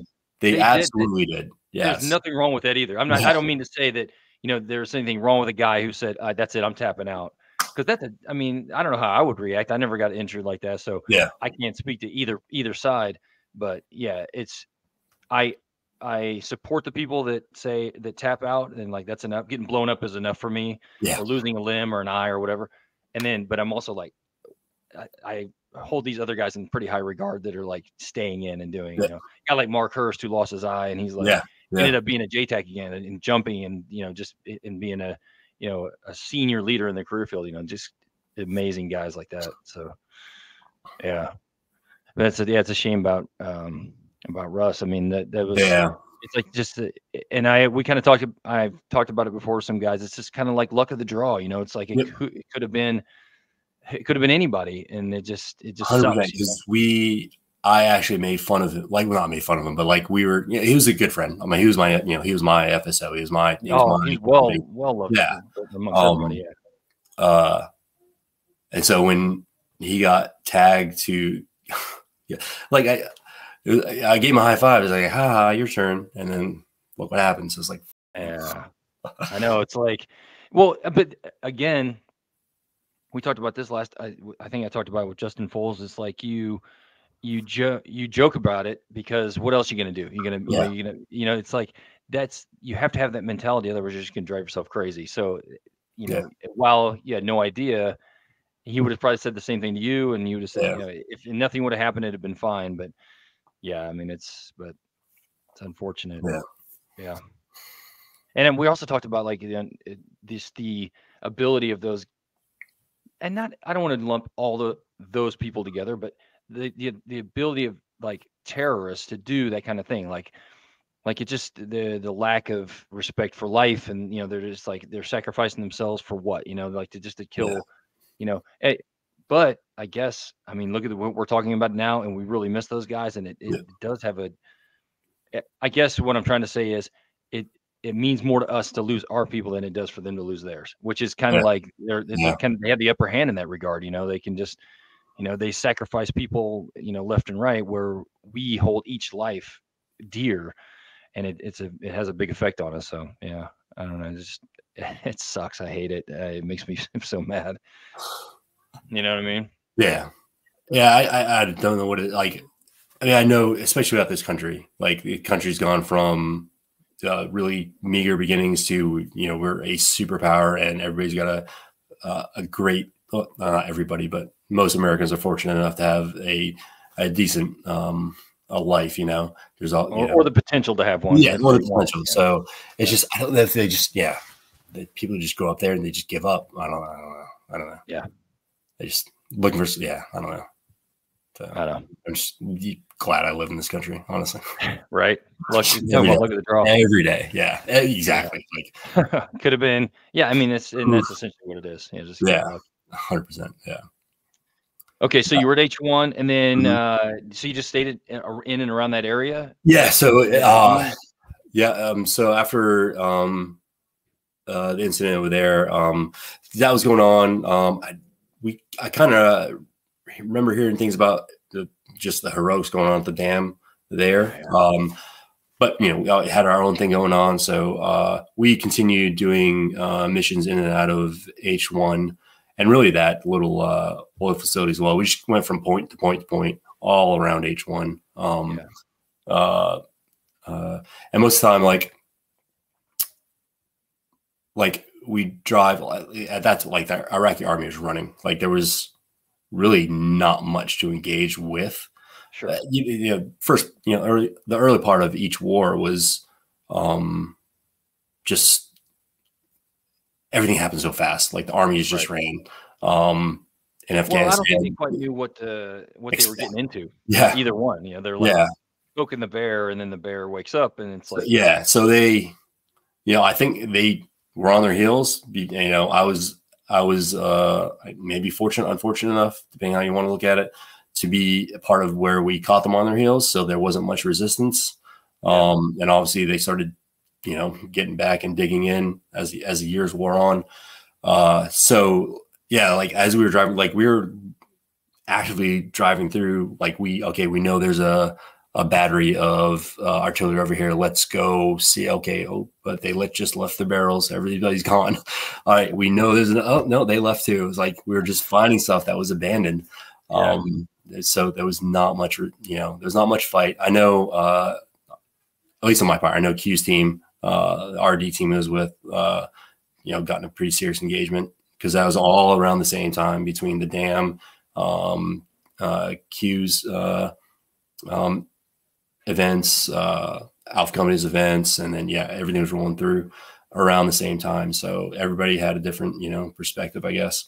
Sure. Or, I guess definitely of how things were going because I know they ran into that. Um, at, at one point, like Sergeant Major Birch, um, he started rolling with us as we were driving through, looking for, you know, going from point to point to point, looking to um, engage and destroy, or just come to find out there was nothing. You know, there was just equipment there we had to destroy because there was nobody else there.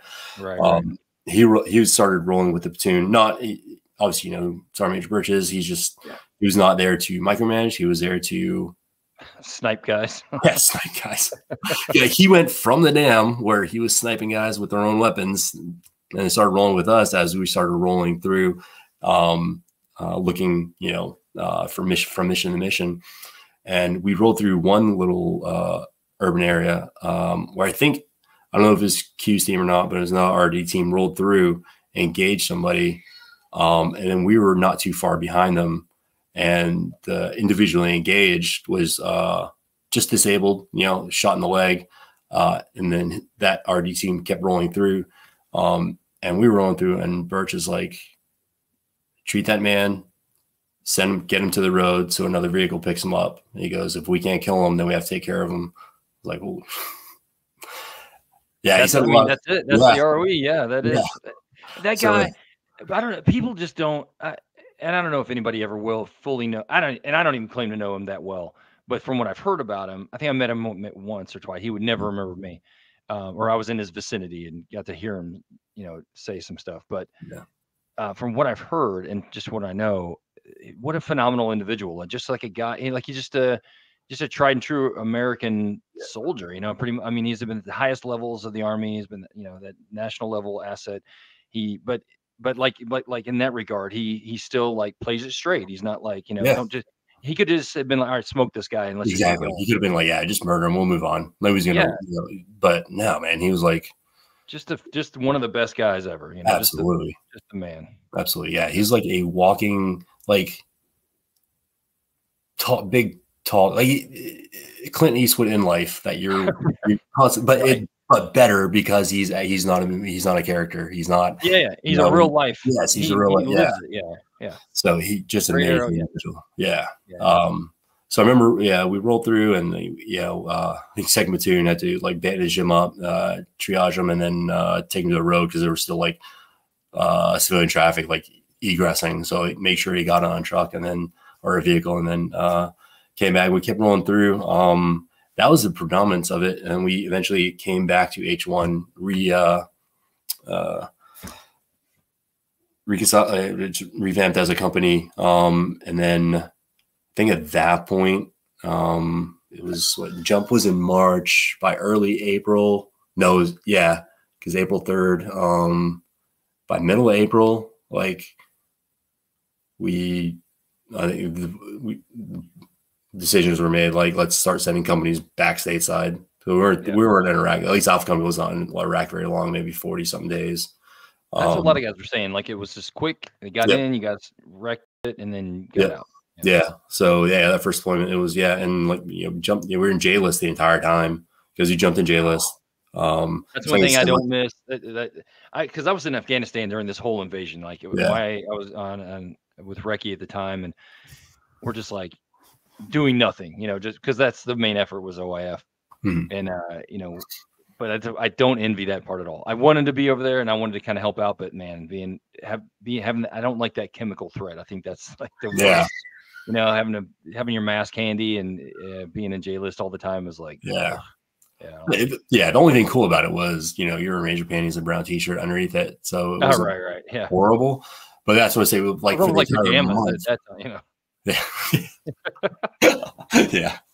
Uh, but yeah, for the entire month we were uh, um, just rolling, wearing that constantly. Um, and then was, did anybody ever? To, was there any threat at all? Did anybody? Did they launch anything? Was there any? Did you guys come in any contact with? Um, was NBC threat at all? After not NBC, NBC, not uh, not intentionally. Um, we were leaving, so we again got to another area. There was intel of there, you know, there was uh, an X, you know, whatever unit that was supposed to be there. Again, just came upon equipment, not individuals. So we stopped, uh, started taking uh, assessment of everything. You know, you know, blow the equipment place. What do we take with us? What do we destroy? Um, so during that time, you know, we were just set up a perimeter security. Um, I think it was, it was third platoon. Uh, it's probably G and everything. We were talking about what to do, or just getting um, uh, waiting for the guidance. So you know, we were breaking out MREs and eating them. Um, and a couple of guys were eating on the hood of uh, they're uh, the same Humvees, like just totally um, light skin, yeah. no windows, no doors. Um, they were eating MREs in their hood, and decision made. Okay, we're gonna roll back, try another place. So you know, already packed up. Um, and then as we were driving, like guys were like, my eyes are burning. We're like, holy, you know, they start getting calls over the radio. Like the driver said his eyes were burning, the TC's eyes were burning. Um, the guys in the seats behind him said they didn't feel anything yet. Um, so we're like, are we getting, oh, is this happening finally? Are we getting gassed? But nobody else in the vehicle or the rest of the platoon was like getting hit. So we stopped and we're looking at them. They're, they're like crying. Um, it, well, they had to stop because he, he, couldn't really see anything. Plus, no windshield with the dust was like yeah. he was just caking his eyes and his uh, eye pro. Uh, come to find out, like we are looking around the vehicle, see what's going on. Like he, as he was eating his MRE, he ripped open the crushed red prepper um, to dump it in his to dump it in his meal and left that packet on the hood. so, as so, you know, he's driving. There's no windshields. The crushed red just starts flying. so that was that was our uh, that was our NBC threat. Oh my god! I knew it had to be something like that. Yes. I could. I was waiting to see what you were going to say. It had to be yeah. like I was thinking like Tabasco sauce or something, but the yeah, it was. Yeah, this is a NBC. Yeah, yes, NBC uh, yourselves. Yeah. but so that was NBC there. Um, Billy was able to, outside of the incident with the Russ and Ian and Ryan, um, later on we were doing more patrols, more block positions. Um, he and I actually were um, between two block positions uh, I don't know why we kept setting up this way, but we were between two block positions, and uh, we were, you know, they were letting cars through, and then we were uh, uh, with the company CP, and so you know, so I, I, think what did I have the vectors or whatever. So I was just looking through, and the vehicle stopped again. I was like, mother, um, and I, man, I, from the time he had A-10s on to engagement was it felt like seconds. Like really? I don't know. Yes, I don't know if it was. What was he engaging? Like what? What? What? Was, I, I, uh, like what happened? Like so, you were the you were in between the positions, and yes. then what was the threat? Like what was he? Where were you guys shooting at? I think uh, another OP called in and said, "Hey, um, there's a white tank in the back of the car, like a like a gas tank, a propane oh, okay. tank, or something like that." Yeah, yeah. So threat enough, uh, you know, big enough threat for us. ROE was outside of, you know, ROE was, um, if it's a threat, especially vehicle borne, go for it. So, um, I don't like at that time, like we, it wasn't like throughout the beginning, you know, later on the war, it was just like constant caps of aircraft, you know?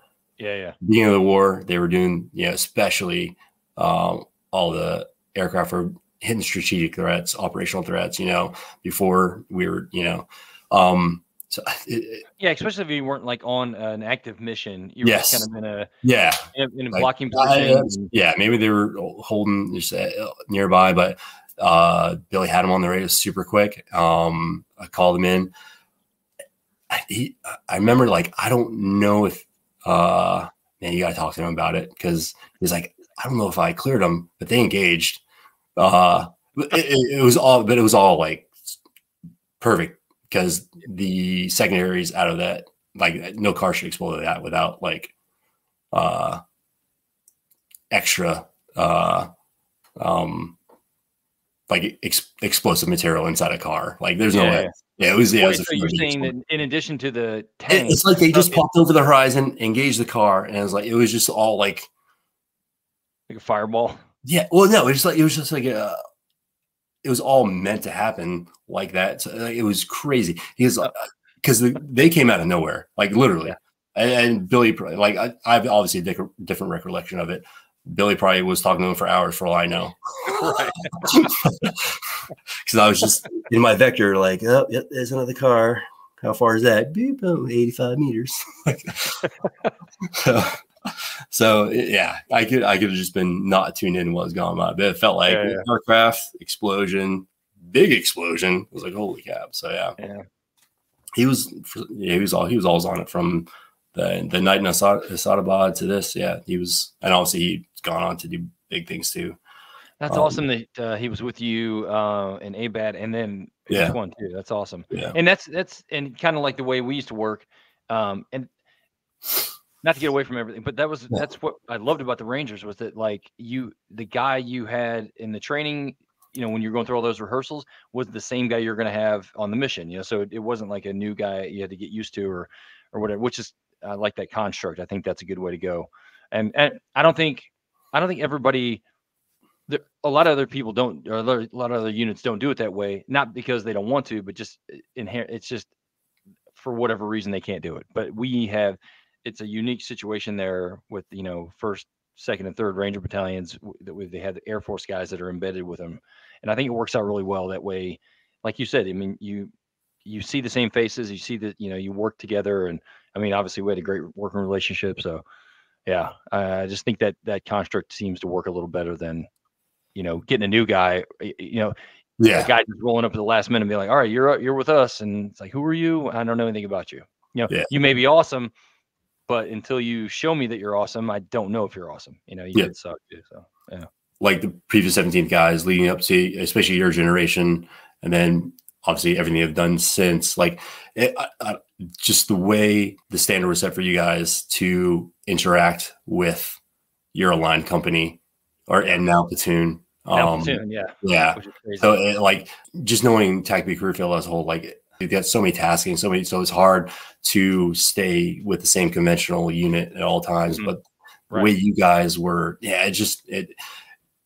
Thank God, you guys were able to set that up, especially moving on. You know, because that just kept trickling down, trickling down, trickling down to Yeah, the point where it's it it is just what you do. It's not like, uh, yeah, they've got a you know what what are they doing a, a jump onto Lawson and then rucking back. I don't know. Like Yeah, no, yeah. you did. yeah, know? exactly. Yeah. Well, eh, exactly. N- number one, we wanted to do it, but also the leadership wouldn't let us get out of it. You know, it was like it was like a twofold kind of thing. Like we're Yeah. all in it. We wanted we wanted to be that guy that we didn't want to be the dude that was like always missing or you know didn't do the, the hard stuff. You know what I mean? Yeah. Well, speaking of that, so do you want to uh, touch on Eglin at all, or do you? I mean, we kind of we kind of covered that a little bit. Yeah. I, I I think, think it's a nice time to transition from Army to Air Force. Like Yeah, you're it- talking, it you know, really you're was. Um, I- you know, conventional TACP. So yeah, Yep. tell me about that. So you went to Eglin, you worked with a bunch of great TACP, Oh, amazing. uh, you know, legends. Let's just Yes. say. And so then- with that that small unit initially was it's just a test and evaluation squadron really um initially it was called uh jcas joint close air point joint close air point joint test team so jcas jtt and we Okay. just set up to test and evaluate equipment um ttps a lot of doctrine writing like the 309.3 the revamp remember uh it went from procedural control to then type one two three yeah, yeah, yeah, yep. yep. before I got there, obviously, uh, but they had that a huge, office kind of they handled had a huge part in you know making sure uh, it went down that road. You know, Okay. um, so um, doctrine publications, um, Chuck especially, I got to go on a lot of TD, TDYs with him with equipment testing. Um, he was light years ahead of uh, where the career field was and his vision of, Yeah. especially with the uh, equipment. Um, so he set up a lot of uh, testing. Like there was contractors and defense companies reached out to him to, you know, have us test equipment. Like Uh, when the Dagger first came out, we were doing a lot of testing with that with this interface with laser rangefinders. Um, we were finding, you know, um, uh, problems with problems with that, especially like people were relying solely on um, the rangefinder for direction and azimuth, not knowing that the azimuth is thrown off by your equipment. So we were doing uh-huh. tests with that stuff. Um, so a lot of testing of equipment. Um, it's been, and then it, it went from so uh, that fell under like uh, it's not any, around anymore, but JFCOM um, mm-hmm. used to be in up in Newport News. Um, so they saw all the good things uh, this small team was doing and kind of made it grow and eventually became JFIIT, like Joint Fires Integration Interoperability Team. Um, and again, just expanded the roles into um, all services, uh, testing equipment, um, going to training centers, looking to see how they can, like a better term, shorten the kill chain, work the kill chain. You know, yeah. um, Army Air Force integration was always a big thing. Uh, yeah. At least on the conventional side. So we we went out to ATC a lot to like um, almost be an OTC uh, for uh, the TACPs and JTACs that were um, out doing their training out there. So it was a good experience because um, I had oh, never yeah. been on that side. We rarely did any soft type stuff. So the conventional side was uh, totally foreign to me. And it was, uh-huh. it was good to see that side. Yeah, yeah. Yeah. That was good. Yeah, what a um, cool, unique situation yeah. given your career path. You know, like yeah, you you were able to get a, a feel for what you were going to get into. You know, it wasn't just like yep. a, a surprise when you got conventional. So yeah, yeah, yeah, and yeah. At that time, I like I, I uh, so I made E seven, um, got down to uh, Eglin, and then you know met my future ex wife. We you know had my first son. Um, and at that point, I I was trying. I tried to go up to 160th, um, but the uh, branch manager for 13 Foxes was like, man, until they get the books fixed, like they were bringing on bodies that weren't on books. And the branch manager was um, a conventional guy. Normally, uh, the two previous guys of that like came from regiment, so they knew like, all right, you can he can throw bodies up there and not a problem. Yeah. Um, yeah. Wait, so, who? Yeah, who went up there? Uh, uh, Emery went there. Um, yeah, he went there um, in like 2000 or early 2001. Um, and then Josh Thomas went up there um, later um, after Iraq, after the uh, Iraq invasion. He went up there. There's only two. There, there was uh, those only two like from the company, anyways. I know, I, I know okay. other guys up there. Yeah, there used to be tech slots up there. Oh yeah, right. Yeah. That's right. Yeah, yeah. yeah. I keep forgetting about that stuff. Okay. All right. So yeah. then uh, that didn't work out. That didn't work out. So I was like, well, and then so I was at two years in down at that joint assignment, and the branch was like, hey, uh, you're coming up for reassignment. We're going to send you on a MiTT team, which was like that was 2005, 2006. Uh, uh, the, they were military transition teams, so they would take six different MOSs from the army, like infantry, army, or artillery engineer, uh, log, com, whatever. Um, 12 people, so two in each MOS, bring them together Fort Riley, Kansas, just different people from different units that were up for assignment, uh, make them train for 30 days together uh, in an advising role, and then send them to like live with uh, like an Iraqi battalion uh, and, you know, advise that Iraqi battalion. Okay. So yeah, I was like, that's not happening. I'm not.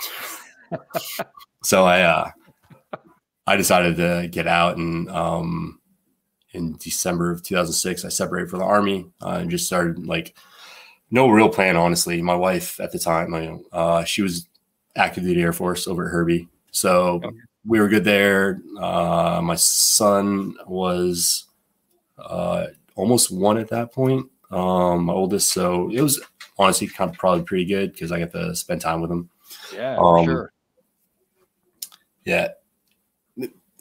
So when I left regiment, got to Eglin, uh, total culture shock. Like obviously going from Fort Benning to an Air Force, then right. uh, uh, an ATC base at that too, or AFRL base. Sorry, it was an AFRL base. So it was totally different when I. Yeah, not even Herbie. It was like yeah, yeah, yeah, like, yeah. Super. So I thought, yeah, I thought it would be a great break. Um, because I made E-7, like I couldn't stay in regiment. Uh, there was already a, a battalion F who just got there Mhm. uh, or just moved that position from within the battalion and uh, regiment. Obviously, you know, I was regiment headquarters was already full up, so I was gonna have to go somewhere.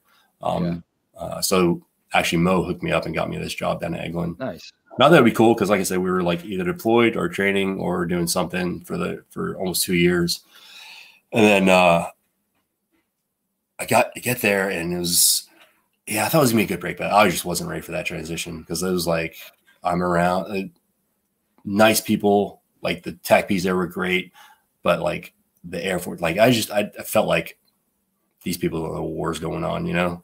I was right, like, right. Yeah, So so it out of touch. It seems. yeah, like, I was Yeah. I was like, man, it's That happens though. I mean, it really does Yeah. happen. They just um and no hit on them. They're just no, no, no, it. like they, they just yeah, don't they, they don't get they they know kind of something's happening, but unless you're involved, it's Yeah. kind of out of sight, out of mind, really. Yeah. You know, yeah. Yeah, you know I what's funny? how you're a little frustrated, probably.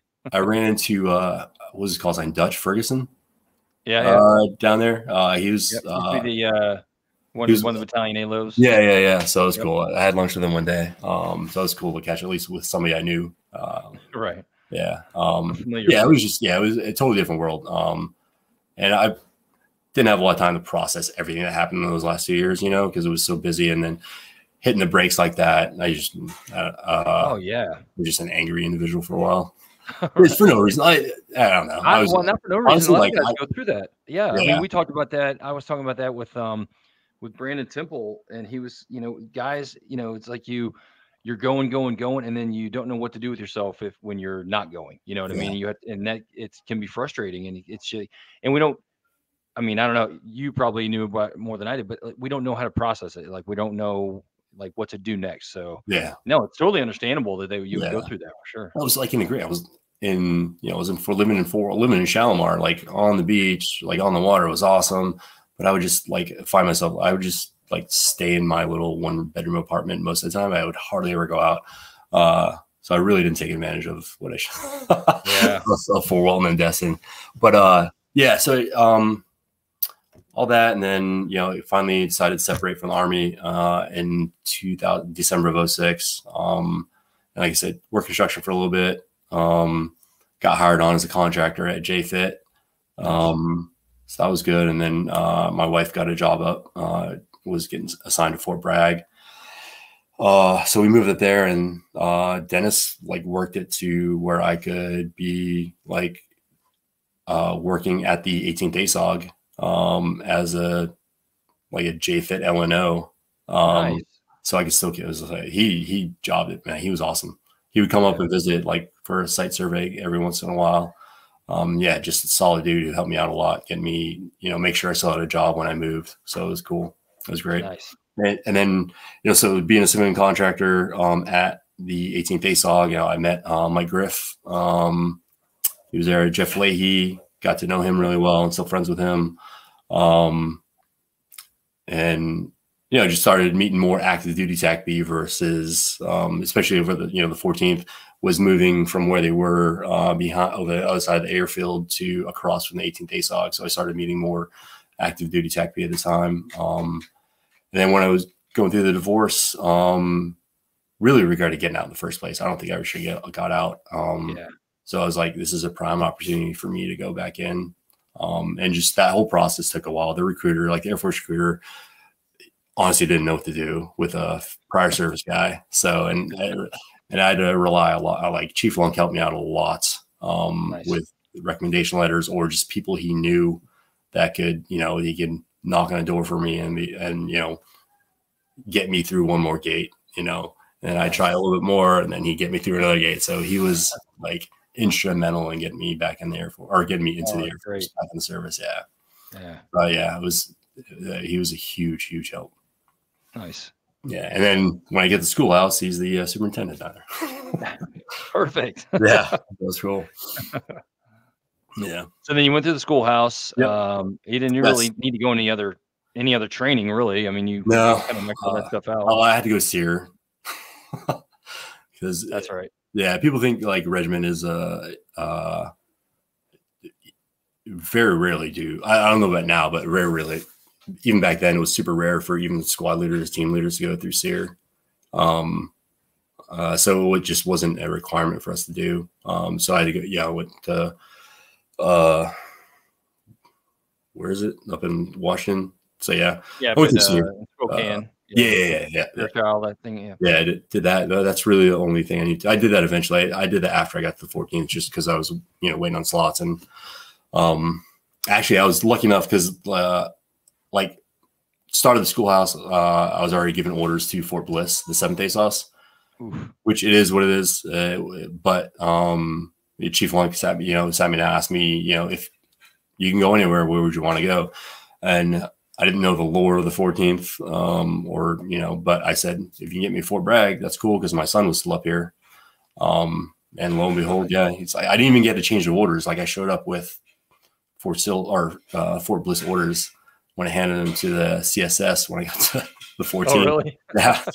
Miss Libby Schillinger, she's awesome. She's wife, really good wife, not friends with my wife. And like, she's like, what? You're supposed to be at Fort Bliss. I was like, I'm, here I am. come here, so here Yeah. I am. Yeah. No, but it I worked mean, out well. I think it is like that. Once you get to the place, it's kind of like, well, you're here Yeah. now, so let's sign you in. Yeah. Man, yeah. How was that? How was the 14th? I, that, Uh, I've never been stationed there, but I, I went to jump master school there at the um, at the group course, and then uh, I've been there several times, just like you know, doing training and stuff. But Yeah. it's always been like a real stellar unit. Like they're just Yeah. a bunch of hard chargers that are like you know, Absolutely, especially the young guys. Like I got there in 2011, so it was like guys were. It was you know in the middle of uh, Afghanistan and Iraq, still hot as can be. So guys were some of them you know on their fifth, sixth deployment, and they've only been in seven years, maybe. They got you know the guys were just, and some of it, you know they wanted to that you know. uh things weren't really well established. You know, if guys wanted to, you know, the dwell time wasn't really, I get, you know, looked at hard back then. I think so. Uh, they started cracking down on it more. But you know, if a guy went on a nine month, he'd go on leave, come back, get greened up again, then uh, volunteer for another one, you'd be right back out the door. So there was hard, absolute hard chargers for sure. Um, uh, and me being new to the, like I, how the Air Force works, and I I'll still never grasp around it. Um, but it was it was great. So they were hard chargers, young guys, new kids coming in. We're getting deployments um, as uh, as romads, not even as you know they were getting deployments, which is great because their experience would you know just it made it that much better as they further in their career. Um, so you know. Guys were getting JTAC deployments. Guys were getting Romad deployments. People were just deploying constantly, which was awesome. Um, Yeah. I um, took over the UTM, stayed there for about a couple years, and so running a program, I thought it was like my only. So they said, "Oh, okay, you got ECM." I was like, "What did that training shop?" I was like, "Cool, I can run training. I know how to do that." No idea what AFI was. I had no idea what um, the six twenty ones. I think were the folders. You know, out- everything's on. yeah, yeah, yeah. yeah, but whatever they were. I, I said, no, I'll just take guys out to the field and run through scenarios or show them how to shoot or something. Totally not what I ex- what I expected. So big learning curve. I thought I did great once I got the hang of it. Um, uh, so I did did did that for a couple years, um, which is awesome. Um, got the experience I needed. Like if I would have stayed at an operational flight, I would have just Heisman like all the stuff I should have been learning about the Air Force, especially Sure. you know, because I came in as a tech. Um, Right.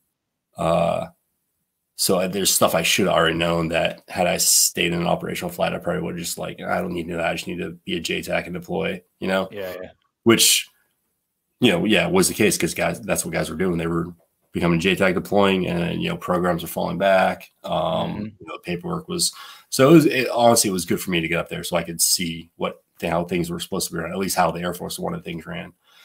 Um, yeah, and then I eventually got back down to a flight. Um, and then uh, 2014, um, we deploy like we had a small contingent of us deploy with uh, First Brigade out of the 82nd. Um, it was the what they call it the TRF, the Theater Response Force. Okay. Um, basically, at that time, we thought uh, things were winding down in Afghanistan. Um, Yeah. So our really our mission was to go around and basically fob hop and help them shut down fobs, let them retrograde while we would hold the fob like super austerely. Everything would be shut down. We'd hold perimeter. They would retrograde back to BAF or wherever, and then we'd collapse back in and um, uh, go back to BAF as well after they left. Um, so that was the plan going in, and we did a few times. Um, Ghazni was probably the biggest one. Um, most like that was great. That was a, that was still being uh, a kinetic AO, which was awesome.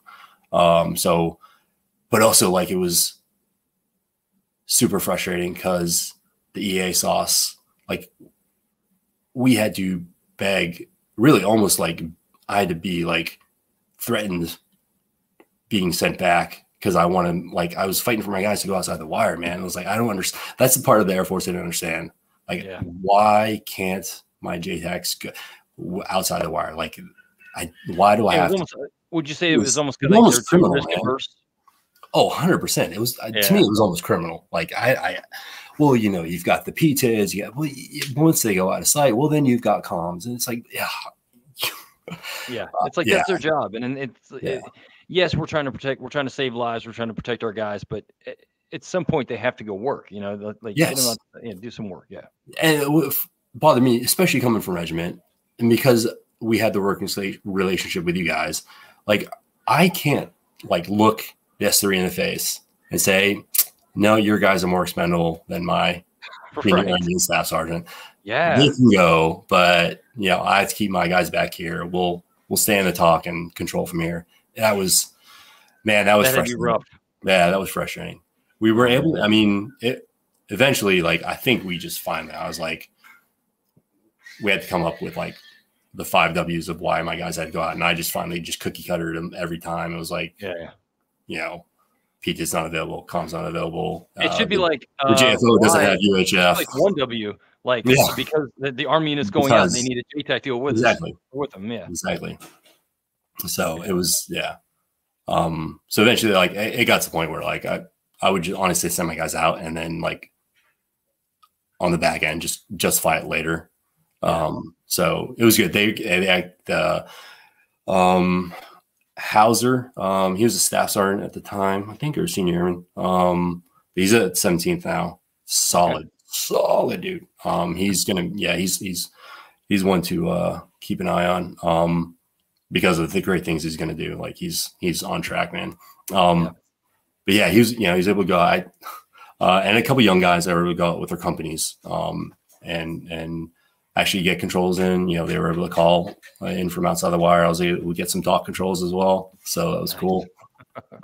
I actually stole Hauser's like Hauser was uh was I was getting ready to replace him on shift and like something kicked off. There was a platoon in contact. I think uh, unfortunately like uh platoon sergeant um was killed during this time.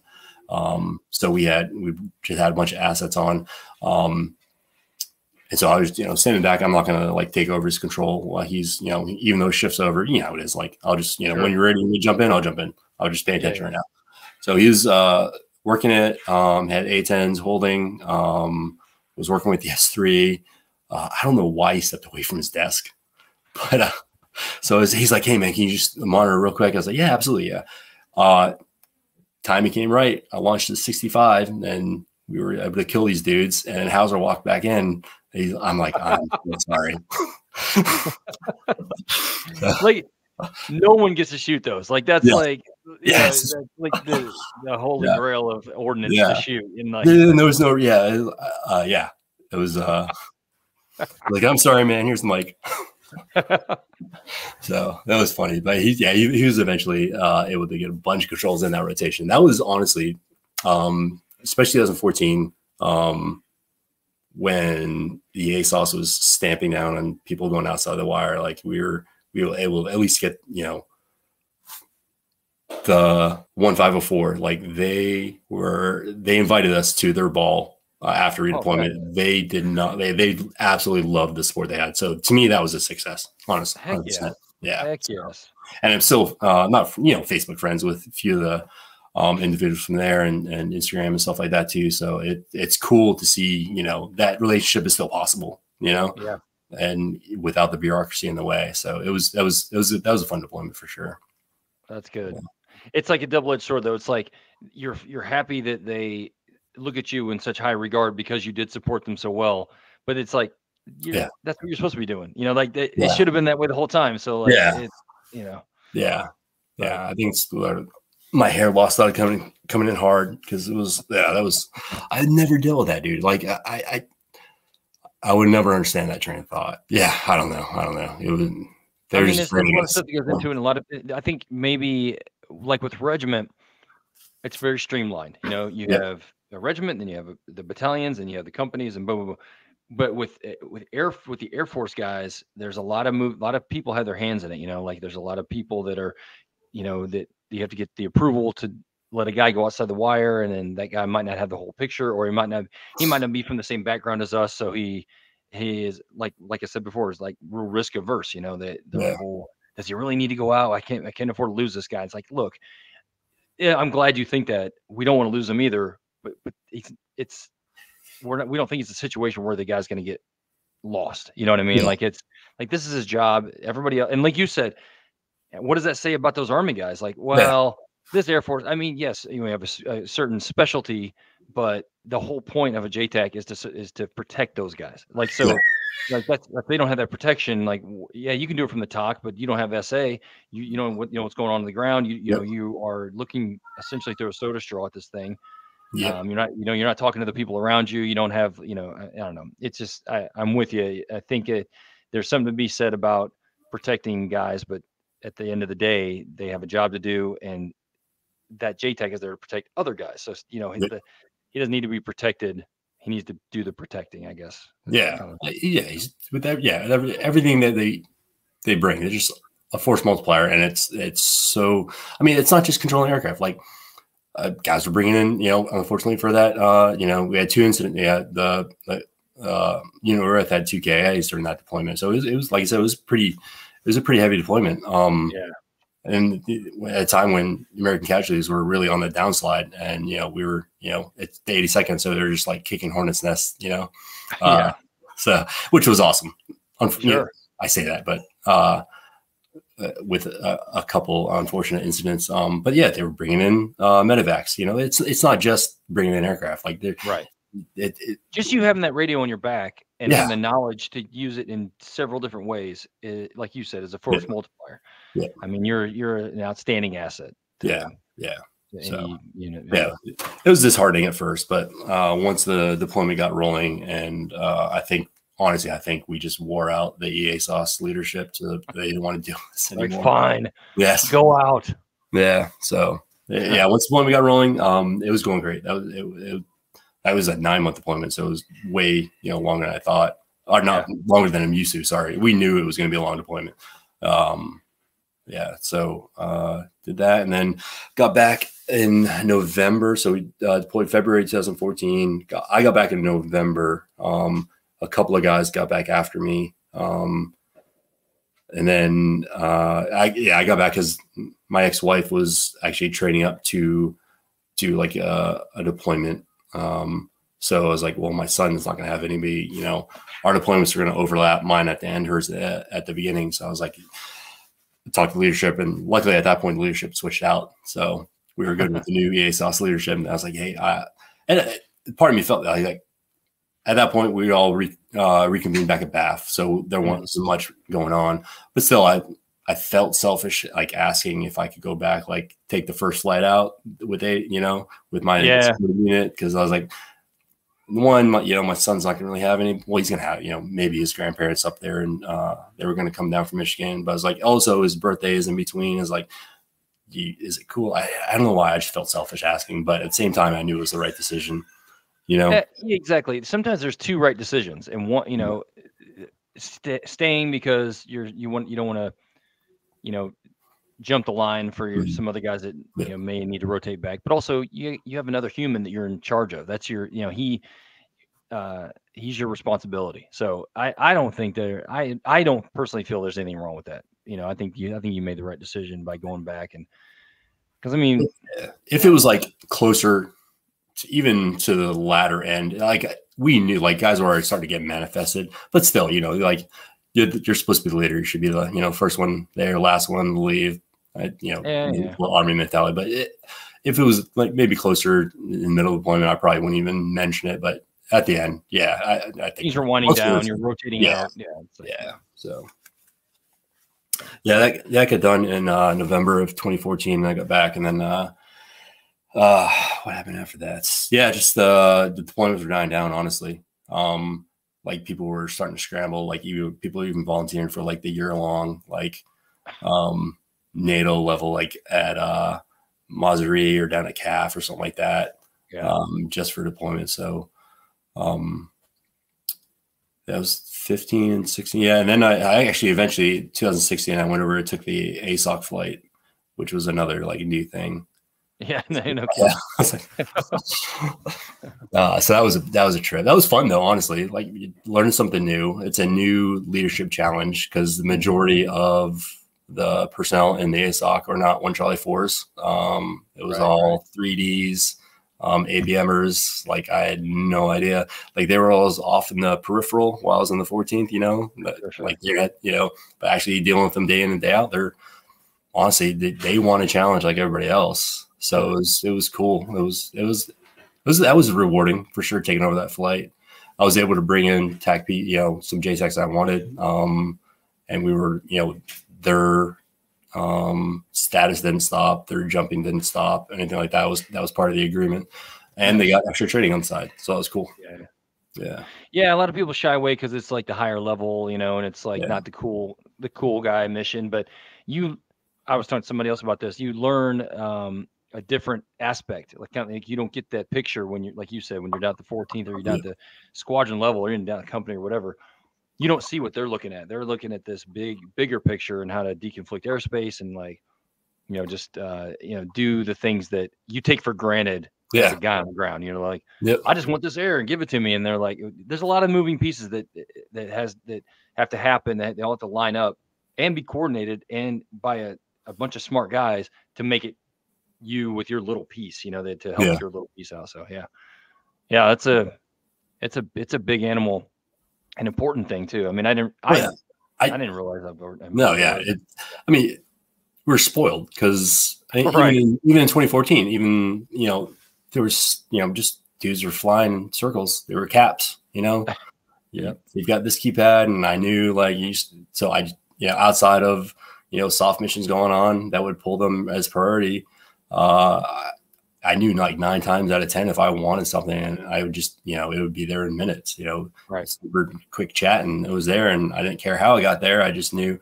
Uh, yeah, exactly. so, You didn't yeah. see what kind of strings. totally, totally, totally take it for granted. Yeah, for sure. Yeah. Yeah. But then you got to get up there and see what you know, see how the pull back the curtain and see how it all works and Yeah. So then you, then you went from the ASOC to did Yeah, when you so- went to Korea? Then yeah, uh, so there's still you know uh, they were like reconsolidating all the ASOC. So I took over the flight, and then in 2017 um, I went to Korea. Um, uh, was there for a year until 2018 at uh, Camp Red Cloud. That was Okay. uh, that was pretty cool. Uijeongbu was a cool little town. I was older, married, uh, or you know remarried again at that point with another kid. So uh, it- I didn't live it up as others, which was fine with me. Totally fine with me. Yeah, yeah. Uh, Yeah, definitely got in trouble I was at Uijeongbu for about six months, uh, Yeah. back in the mid '90s, and uh, yeah, it can, it can be as off the hook as you want it to be. You know what I mean? Yeah, Like, yeah. like you, like I was a single dude, and I was very susceptible to, you know, uh, suggestions. So, Yeah. you know, yeah. So it was like we were, yeah. But I can understand. But I, I would love to go back as a, you know, an older guy, like kind of like you Mhm. were, just to kind of see it in a different way. You know? Yeah. like, I don't Yeah. think I experienced it uh, as much as I could have. But how was your? How was it for you? I mean, what? It was cool. I- get out and um, like, and- Oh yeah, yeah. Like outside of like, uh, so honestly, having that ASOC experience, going to working at division level was oh yeah, super beneficial. Even though it was with uh, another, you know, uh, working with the Korean ASOC. Even though, Sure. uh, yeah, it was crazy. Like the exercises there, like were so frustrating.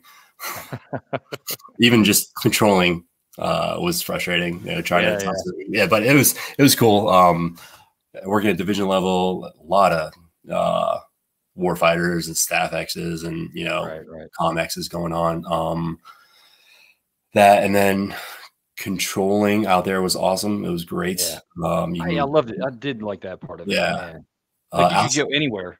yeah. Like you know, just pull over on the side of the road. like just the lengths you had to go. No, I only really, I guess here at the states too, because um, there's not a lot of squadrons around uh, army bases anymore, so you still have to travel. Um, so yeah, it's real insane. It's what's the the only crappy thing was the the one live range you had to drive like four hours one way to. I forget what it was called. I just brain dump everything, honestly. Was it that one Nightmare or was it? Uh, yeah, it was further south.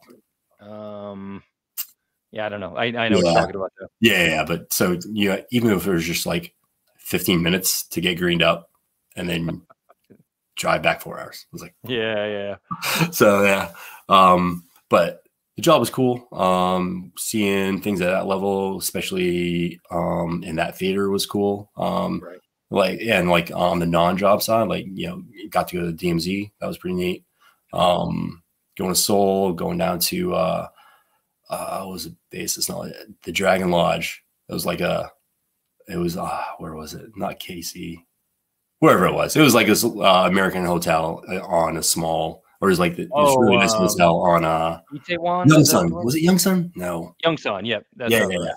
Yeah. So that was cool to go down to. And you had uh um Itaewon? Was it Itaewon outside the gate? Itaewon, yeah. Yeah, yeah. place, yeah. So that, was cool. I, I went down there a couple times. Uh again, nothing crazy. Uh but yeah, it was cool. It- the, the thing I loved about it was um, those places like Itaewon and like Seoul and all. It was so Mhm. much different than Uijeongbu because you're like Yeah. Uijeongbu is kind of like a little small community or like a small town, and you go down there, it's like it almost reminds you kind of like a Tokyo or whatever. Yeah, bit.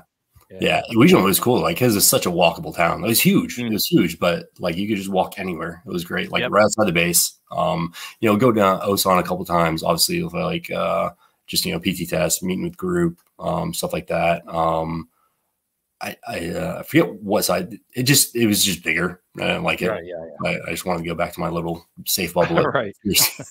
uh, the Air Force was in the area there, so it was nice. Um, yeah, we. I was honestly, um, as I was leaving, we were in the process. The squadron was in the process of moving down to Humphreys, um, okay. and Red Cloud was closing. So luckily, I missed. Um, yeah, by the like I missed in, in July I left, so like by that Christmas, I think they were already fully down in Humphreys, I believe. Huh. Yeah. Interesting. Yeah. Huh. But it's cool. Like even like even CRC, like it was so small, but it was cool. Like the bunker, like you that uh Yep. uh the trail that went along the outside that you walked up to the bunker. There's so much Yeah, cool. for such a small town. Yeah. Cool little, cool little neat. post. So you spent a year there. Spent a year there. back. And then halfway through, um uh actually near the end of it. So I found out uh I made master. So I made master before I left Korea. Um and then got assigned to um the 10th ASOS at Fort Riley. So left Korea to July 2018, uh came back to North Carolina. My family moved up to High Point um while I was gone because my wife's from um Asheboro or Okay. outside Asheboro. So she had family up around that area. So uh, moved her closer to family, and she was going to school and working. Um, she was just separated from the Air Force, um, so she, you know, school and working, taking care of the kids. Um, I had both my kids at that, uh, sons at that time living with us, um, and then yeah, so I got back from Korea, came back to North Carolina, packed up the house, took a little leave to see family, and then you know we drove out to uh, Kansas. It was there for How was that? Kansas, honestly, uh, different. Uh, I enjoyed the area. The unit was um, great. We had a great commander when I got there. Colonel Healy was awesome. Uh, the DO was awesome. Colonel Chung Chang, sorry. Um, my flight commander, um, he's still in. He's up in Washington. Um, Captain Woodruff, great dude. Um, like 13 Limas. Uh, when they they started coming around 2011, 2012, probably right. I think Yeah, so I think so. he was yeah um he's a he's he's a great guy like he uh i just don't think there's enough like there's building up mentorship in the at, with 13 Limas to Uh-huh. Like generation generation, you see them getting better anyways with leadership. Sure, sure. Um, yep. So he's at that point where he's going to be a stellar dude as he progresses. Nice. Um, really great guy to work with. Um, and just the, like a lot of young guys. So that was super rewarding because you got the, I got the mentor the young guys, um, help them out along with their career. Um, and then uh, I a, were you like, the, were you like the um, like I was a uh, so when I initially got there, I was the training flight NCOIC, but then we turned into um, Charlie flight. So the training okay. flight kind of went the training kind of went back to the operational flights, and then training flight we were able to keep most of our guys and become an operational flight. So we supported one of the. And honestly, that and that's the thing. Like with the whole uh, in the conventional, my experience with the conventional ASOS is like there is no direct um, support with like you like if you ask me who I'd say I supported first ID like I can tell oh, you right. like what brigade. I yeah yeah. Even with that's like the division level. Like it's yeah. this division somewhere so yeah. um, yeah. yeah so uh yeah I know. it's yeah it's a weird. I think it used to be like when I first came in we we tried to do that. Like matter of fact I forgot to mention this when you mentioned uh first sergeant Martin. He and I were in Panama together when I first came in like he was down at the first of 508 uh, in Panama. That's I met him down there. He was like really? he was an E5 or E6 at the time. Yeah.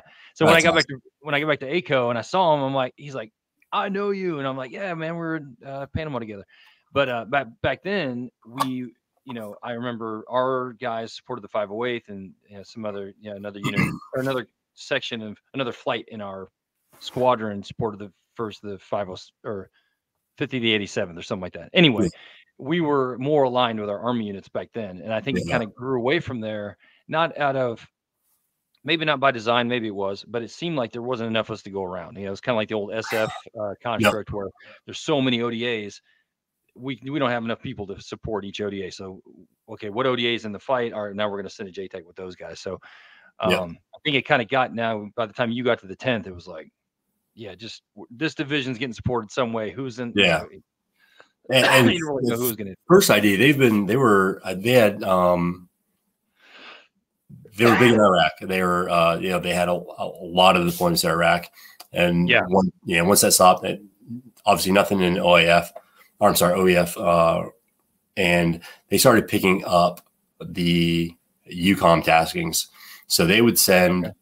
uh division like they would split their division um cp and like there was all constantly a division cp element um in poland like just oh, okay. rotating for years so it, you really couldn't um really get to know because and really it, it, felt like as a whole the 10th asos literally just supported division cps because we were as they were we uh we uh as they were doing their like polling taskings, we'd send elements to support them as well. So we couldn't like just obviously just send like uh, command elements up there. So we'd have to take uh, flight uh, leadership, um, yeah, you know, yeah. captains and mass sergeants, and then whatever other airmen and sergeants would want to uh, attach. So yeah, it was it was it was like that. It was really just like what can we support, who can support it, and we're really just supporting um, their their EUCOM tasking. Okay. At the so, division level, pretty much the last thing I did um, at the 10th. It was like October 19, and I got back. I think we go back January or February. My portion, like it was supposed to be nine months, but um, mine, and a couple other guys, was only like four and a half months because we were rotating guys in. But yeah. like uh, it, earlier that year, um, like I said, uh, there's just the bucket list of thing I wanted to uh, do is that I always wanted to see how I would do. Um, yeah. So I asked like luckily there was another um, tab um, staff sergeant uh, in my flight, and we were the only two in the entire squadron. Um, so I was like, "Hey, man, you heard? Have you ever heard of Best Ranger competition?" yeah, I'm pretty sure Marco Silveira. Uh, he, I'm pretty sure he has. He's like, "Yeah." Well, I was like, "You want to do it?" uh, and he's a he's a young kid, hard charger. He's like, "Absolutely, I don't know what it is, but let's leave right now." So he's that kind of kid, you know, just no, hold on. Yeah. Train up first. Yeah, that's, yeah. Uh, so, but uh, so I asked my flight commander um, if that was, you know, a again, uh, uh, for me, it felt like another selfish thing I wanted to do was like can I take myself out of the flight for a while to train up? Well, yeah, train up and but also for a few weeks, you know, be gone um, yeah. for this pursuit that I want to do. Um, he was 100% on board with it right the bat. Um, you know, talked to the DO. Um, uh, he was on board with it, and, and eventually, you know, the commander was cool with it too. And part of the reason was like I, I felt a little selfish because there was like a war fighter um, scheduled like right in the middle of the competition. So I was like, dude, we're already short, man. Like, guys, you know, it, it so I was like, man, this is but this is my last one. If they were cool with it, then I was like, cool. I'll, you know, I, I yeah. We'll try out, It'd be we'll different if, if, they were all against it and you're like trying to fight to get it, but yeah. everybody's supporting you. Yeah. And it's a war fighter. It's not like, yeah. come on. You know, it's I, not like it's I know life or death, you know. yeah. So uh yeah, we uh trained up for it. Um a lot of lessons learned in the train up, things I would have done different. Um and competition itself was like we had to be out there a week before the competition started as like a so there's like a whole process you have to go through. You have to get checked off on certain items, you know, army like um uh, you have to get checked off on fast roping. Um, you have to walk through uh, tests condition standards pretty much of every event, bring out, you know, yeah. of all three days. So there's those. That yeah, that'd be dumb. They're like, okay, go uh, put this 240 in operation. You're like, yeah. 240? And they're like, get the, you know, yeah, well, you no, well, uh, that is, so like the the equipment um and the ranger tasks like you got to know that stuff going in. Like me and Marco, okay, we would okay. go to uh he thankfully he knew uh brigade armor and we would go down there and mess with the 240, mess with the 50 cal um, mess with the uh, whatever the new I forget what the new 203 is that you know. Um, so we were able to get hands on with that. It, but it's like because some units don't fast rope, um, right? So yeah, make point, sure yeah. everybody's safe like that. Um, one thing, thankfully, they uh, the Prusik climb and the, the whole Prusik Tower, like. Yeah. We spent two, I think, like two days out there. Thankfully, because we just didn't have the capability to do that out in Riley, and it was still yeah. uh, if we would have made it to the Ranger Stakes day, like I probably should embarrass myself on that Prusik climb. Um, that seems like the hardest thing. I, I, mean, honestly, out of everything, yeah, that Prusik climb just seems impossible. Yeah, yeah, yeah. If somebody, if I hadn't seen people do it, I would say yes, it's impossible. I mean, that's crazy. I, yeah. Um, yeah, it is. It let me put a ruck on my back. Let me run. Let me do whatever. But that Prusik climb is crazy. Yeah.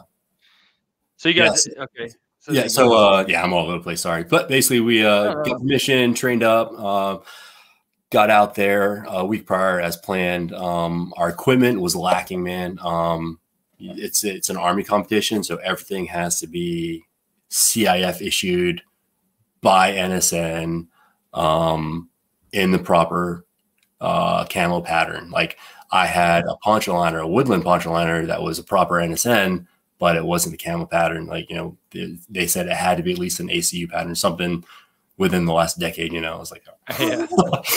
so, uh, so we do we like every day when we got released from, um, the, uh, like the walkthroughs, we'd like hit Victory Drive and like go to all the surplus shops. Ranger Joe's. Yes, Ranger Joe's, uh, everything there, and be like, you know, what do you have? You have this. You have this. Um, so we went out of pocket a lot. Uh, I was gonna say that probably got a little, little. Yeah, like well, no, like the the most fixing thing was the ruck. Like we thought, I thought maybe just an out like an Auspac, and you know, we um the bars issue ruck. Um, I knew wouldn't fly, but maybe we both had Auspac, so we can bring that. Dude, it had to be the MOLLE ruck. So we were like, they wouldn't let you use an Auspac. No, Really? To be MOLLE. Yeah. Wow. So luckily the cool thing was like uh was it no, it was another uh it was um I think Gen- oh, it wasn't Ranger Joe's, but it was another one down the road, US Cavalry maybe. Um the guy's like, hey, you know, it's you know, it was 300 bucks to buy the rucks, but he goes, if you return it next week and you wash it first, you know, you you can sell it back to me and we got most of our money back, so that was cool. Oh, nice. Good yeah, deal. so he was, he was he was super cool about that. Um, yeah, so a lot of lessons learned um, from equipment to train up, and then the startup competition. Man, it was awesome. Like it, as much as I uh, hate on the army and their timelines, like everything you know made sense. Uh, yeah. Just the way they, especially the way they do it. Um, I didn't want like part of it was done because it was a personal like um it's just personally I wanted to see if I could stack up, see if like, yeah, I was in regiment. Yes, you know, I went through RIP, uh, deployments and all that, and black and Tambray, went through that whole process. Yeah. like, I don't know, for something, something felt like I just had to like, yeah, sure. yeah, yeah. There's just part of me that was like, I, I, maybe I owe it. Um, like the, uh, there's just plus two, there's just like a, a reverence that comes with that competition yeah. and the history behind it. Um, so I just want to be part of that, honestly. And uh like a secondary too. Uh, Marcos um was an awesome partner to have. Um, but also too, like we were the only Air Force team that that year. Like the year before, there was there's a Coast Guard team. Like oh, they were the only sister service team. So like very rarely do they get an entire sister service team. I don't think outside of that Coast Guard team and us. And we, I know there's been gunny sergeants from the Marine Corps that have participated and won, but they were teamed up with like an RTB dude. Yeah, um, yeah. you know, last year regiment took like I think top six or top seven spots, and the Air Force captain was in mm-hmm. it from the 17th. Just a stud. Um, yeah. Uh, yeah, he's partnered up with the regiment um, army officer. So, uh, which helps a lot because oh yeah, as much as as much as you get uh, immersed in the Ranger culture or mentality or whatever, you're still an Air Force guy. You're not exact, you know, you're there's mm-hmm. just that little bit that the army guys have an edge on you just because they live it day in and day out, you know. So I can see how, yeah. Yeah. Um, so, but that, but but it's cool that you guys were an Air Force pure team. Yeah. Yeah, yeah, that's cool. And yeah, Did you call was, uh, Boley at all and get any advice from him? Uh no, man. I'm gonna not like he's like, what are you thinking? You know, you, you're just gonna embarrass yourself. No.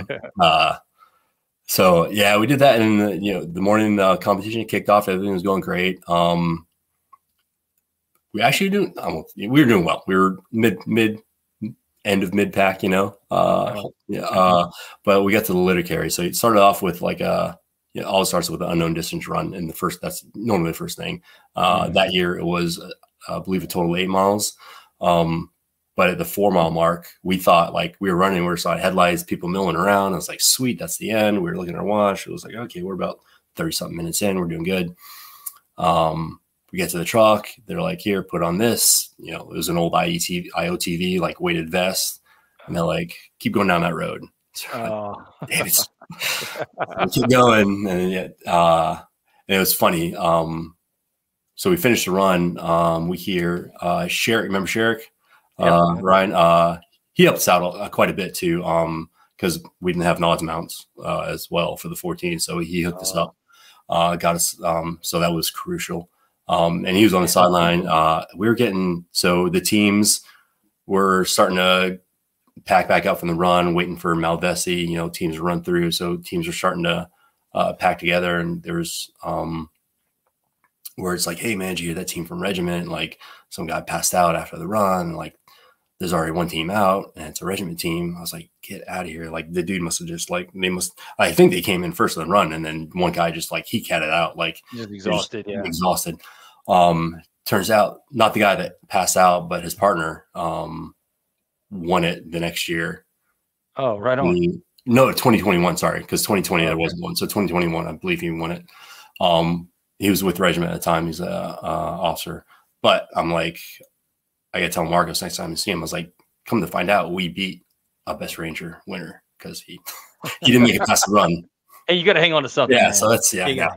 So that was uh took the run, and you do Malvesti, and then you go to a litter carry. That I mean that's what broke us, honestly. Well, I mean we finished the day out. We didn't um we didn't you know we made all the way through the ruck and didn't make it through the ruck. Uh, didn't make the cut after the ruck because they have to cut. I think like 28 teams the first night. We were oh, okay. We were definitely in that cut. So oh, okay. Oh, so if you don't make it at a certain time, you're just yeah, like, yeah. we're only taking this. Anybody yeah. who finishes, yeah, it's known like uh, after the ruck, which ends day one, because you start like around 17, 8, uh, 17 2000 uh, that night, and it goes into early morning. And when they stop you, it's either yeah, keep going or no, get on the bus. So okay. and we bring you back to uh, the barracks. Um, so yeah, we are yeah it is. Well, I mean, we tried. We made it all the way through the end of the day, so that was good. I was happy about that. Yeah. Um, I, I mean, yeah. the fact that you tried, the fact that you trained up, you you know, because that I mean, as much as you have been exposed to it, it's still there's still a lot of unknowns in that competition. I mean, and it's yeah. not like um, it's not there. There is nothing easy about it. Like there's no like you know, it's it's all hard stuff to do. You yeah. know, it's like just amazingly hard stuff to do.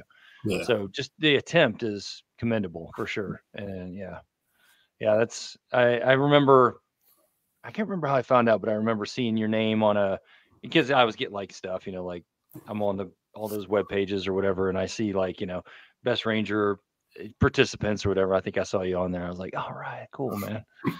um, yeah, I thought that was really cool. So then, um, so you did that, and then yep. when did you? How? What happened?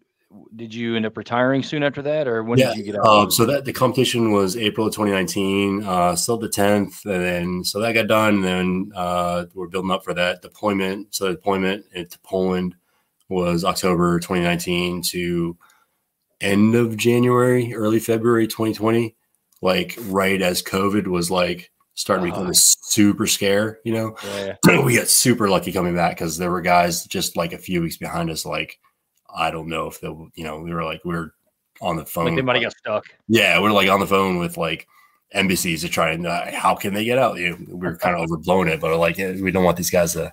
Um, so come back and then uh, I actually pushed the, re- you know, I applied for retirement um, while I was uh, in Poland. It was just at that point. Sure, sure. I was. Uh, yeah, I think it was just time, man. Um, my like my son, my oldest son, uh, with my first wife was uh, there was all this constant like custody stuff going on. Yeah, so I yeah. finally had him with us. Like um, he was living with us for a few years, and I was like, well, uh, I we didn't like we Manhattan, Kansas was it was nice, but it just wasn't for us. I don't think.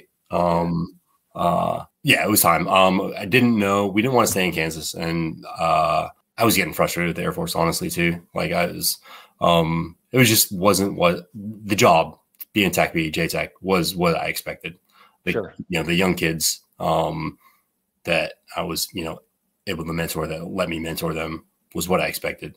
Um, the officers that uh, wanted my advice, everything that was great, but the Air Force as a whole, as an organization, just it was frustrating. Um, part of it was me, like I wouldn't just that part of me just wouldn't conform to it, you know. right. I didn't see a need for associate, so I was like, why do I need, you know, just the whole yeah, yeah, yeah, yeah. No, you're yeah. I hear a lot of guys say stuff like that. Yeah, for sure. Yeah. So the whole community college Air Force, like, I, I you need that to get to the next level. Blah blah. It's like, yeah. So uh, it is what it is. Um, looking back, I probably should have to avoid some of the stuff I'm going through school, but I just yeah, I was I was done. So and and uh, it was time. It was just time. I was getting older. Um. Uh. Yeah. I so mean, you think about it, dude. You like you told like we were talking about. You made E seven twice. So yeah. like it's not like. I mean that's a, that's a pretty good career. I mean especially like all the stuff you've done. You know, there's no. I can understand how you're like, all right, enough's enough. Like, yeah, yeah. You get to that point where, you know, you're just uh, not burnt out, but maybe, but it's more like it's just there's some other other stuff to do. You got a yeah, family now, you yeah, young kids. I mean, you know.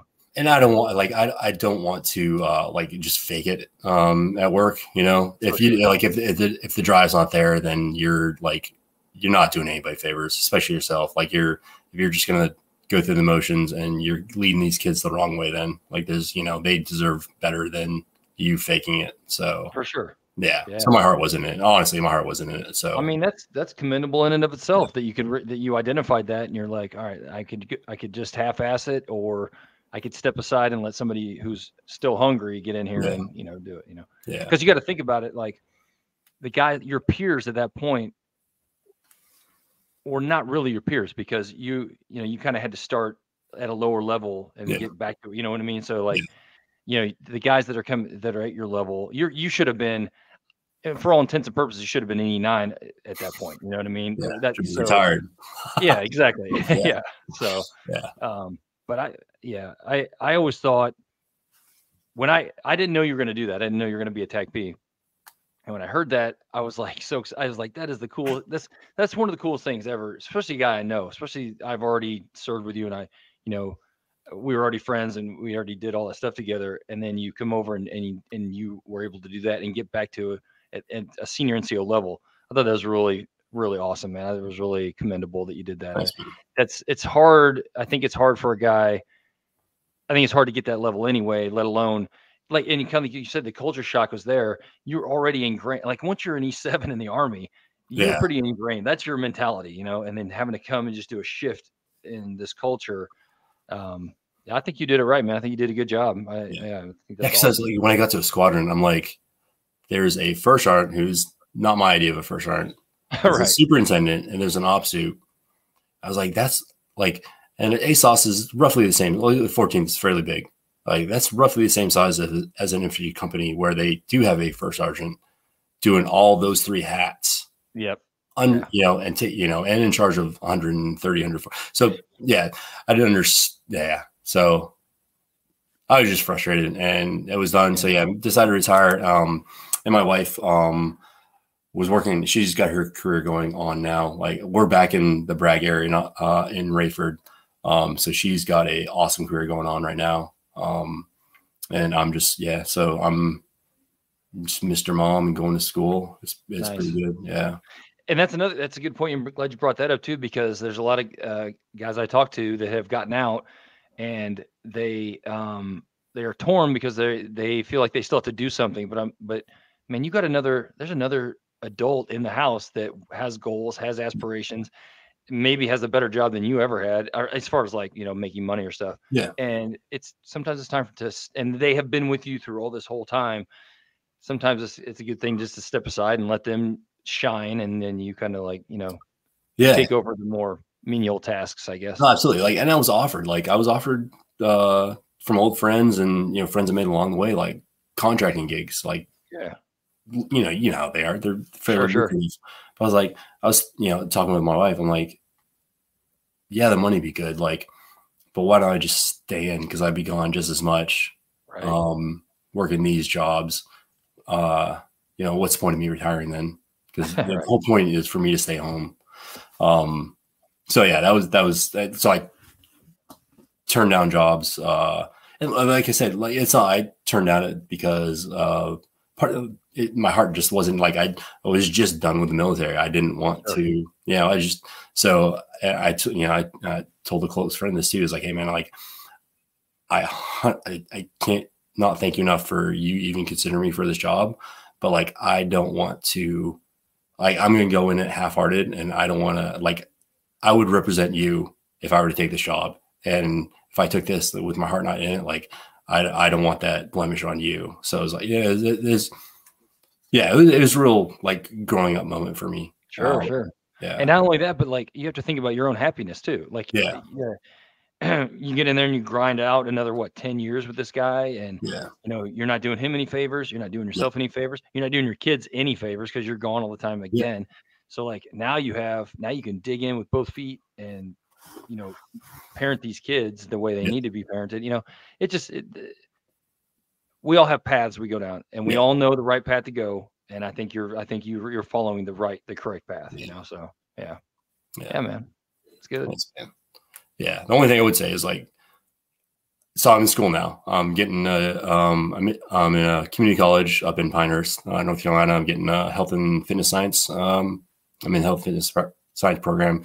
I'll get my associates associates in that this May, and then they'll help me get my like personal or personal training certificate. So I'll become a personal trainer, and then start working or start um, going to UNC Pembroke in the fall to get my bachelor's in exercise science, like kinesi- kinesiology or something like that, and nice. hopefully work my way up to getting become a certified strength coach and start working uh, and that's like the end goal and then a job from there like uh, uh, i'm working like part of this program i have to intern like to get hours you know yeah, yeah. and so i'm working on fort bragg with a strength coach team that is just awesome actually the lead strength coach is a 175 guy oh, um, right on. a bunch of a bunch of the strength coaches are former military but not like meathead former like they're they like they were in the military but a few of them like have been through like i had no idea the trials and tribulations strength coaches have to go through. Like they have to go through uh like unpaid internship for years Oh, it's really? crazy. Yeah. So they they really opened my eyes um in a few things and which way I potentially want to go. But ultimately, like I'll get my bachelor's in uh, about a year or so, and then uh, we'll take it from there. But ultimately, you know, it's it, everything is just to supplement what you know my wife is doing. Honestly, Sure, sure. Yeah. Yeah, it's good, man. See if you'd have just uh, conformed to the Air Force, you'd have your associates already. Yeah, I know. I know. no, I was just Yeah. talking, I, I, a couple years ago. Uh, I talked to a guy about this, and he was like, "You know what? If I want to go to school, I will, but I don't want to be told you Yes. got to go to school. You know that because that, Yeah. I mean, it kind of takes uh, the I don't want to say fun, but it, it like kind of takes the wind out of your sails. You're like, I, I, I got to do this. I want to. I would like, you know, most people want to go to school because they have a, a goal in mind, not Yeah. just because it fills a square. You know what I mean? So And that's all. It felt like, yeah, just a checking, a check blocker because there's two kids um, at the 14th that came in with bachelors, like, but they didn't have their CCF. So it's like, so crazy. I know. is anybody like looking big picture? Like, what does Yeah, this yeah. actually make sense? Yeah. Like so, that should fill that square. You know, Yeah, that should be like, yeah. I, that's it. You know. yeah. So that kind of stuff just frustrates me to no end. But uh, Yeah. Yeah. Well, cool, man. Um, again, I can't. It, it was so good to see you. I, I, No, it's great I- see you. were bringing up so you're saying so many things. It's like bringing up some memories from like the back in the day, yeah. and, uh, and I can't thank you enough for for taking your time to to come on here. It was really cool. No, to, thank uh, you. This has been awesome.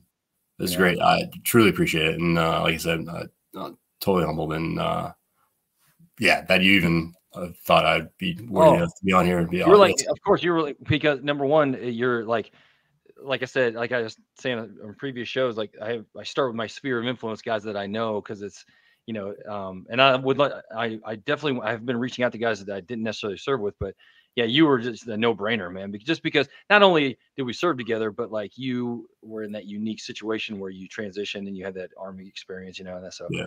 yeah, and you're just an all around good guy, man. I think, uh, uh, yeah, so. Um, but yeah, you know, I appreciate it. And, uh, Yeah, and, thank uh, you. No, it's good talking to you, man. Yeah, it you really good catching up. Absolutely. Thank you. All All right, brother. right, brother. All right. I'll see you later. Yep. Bye. Bye.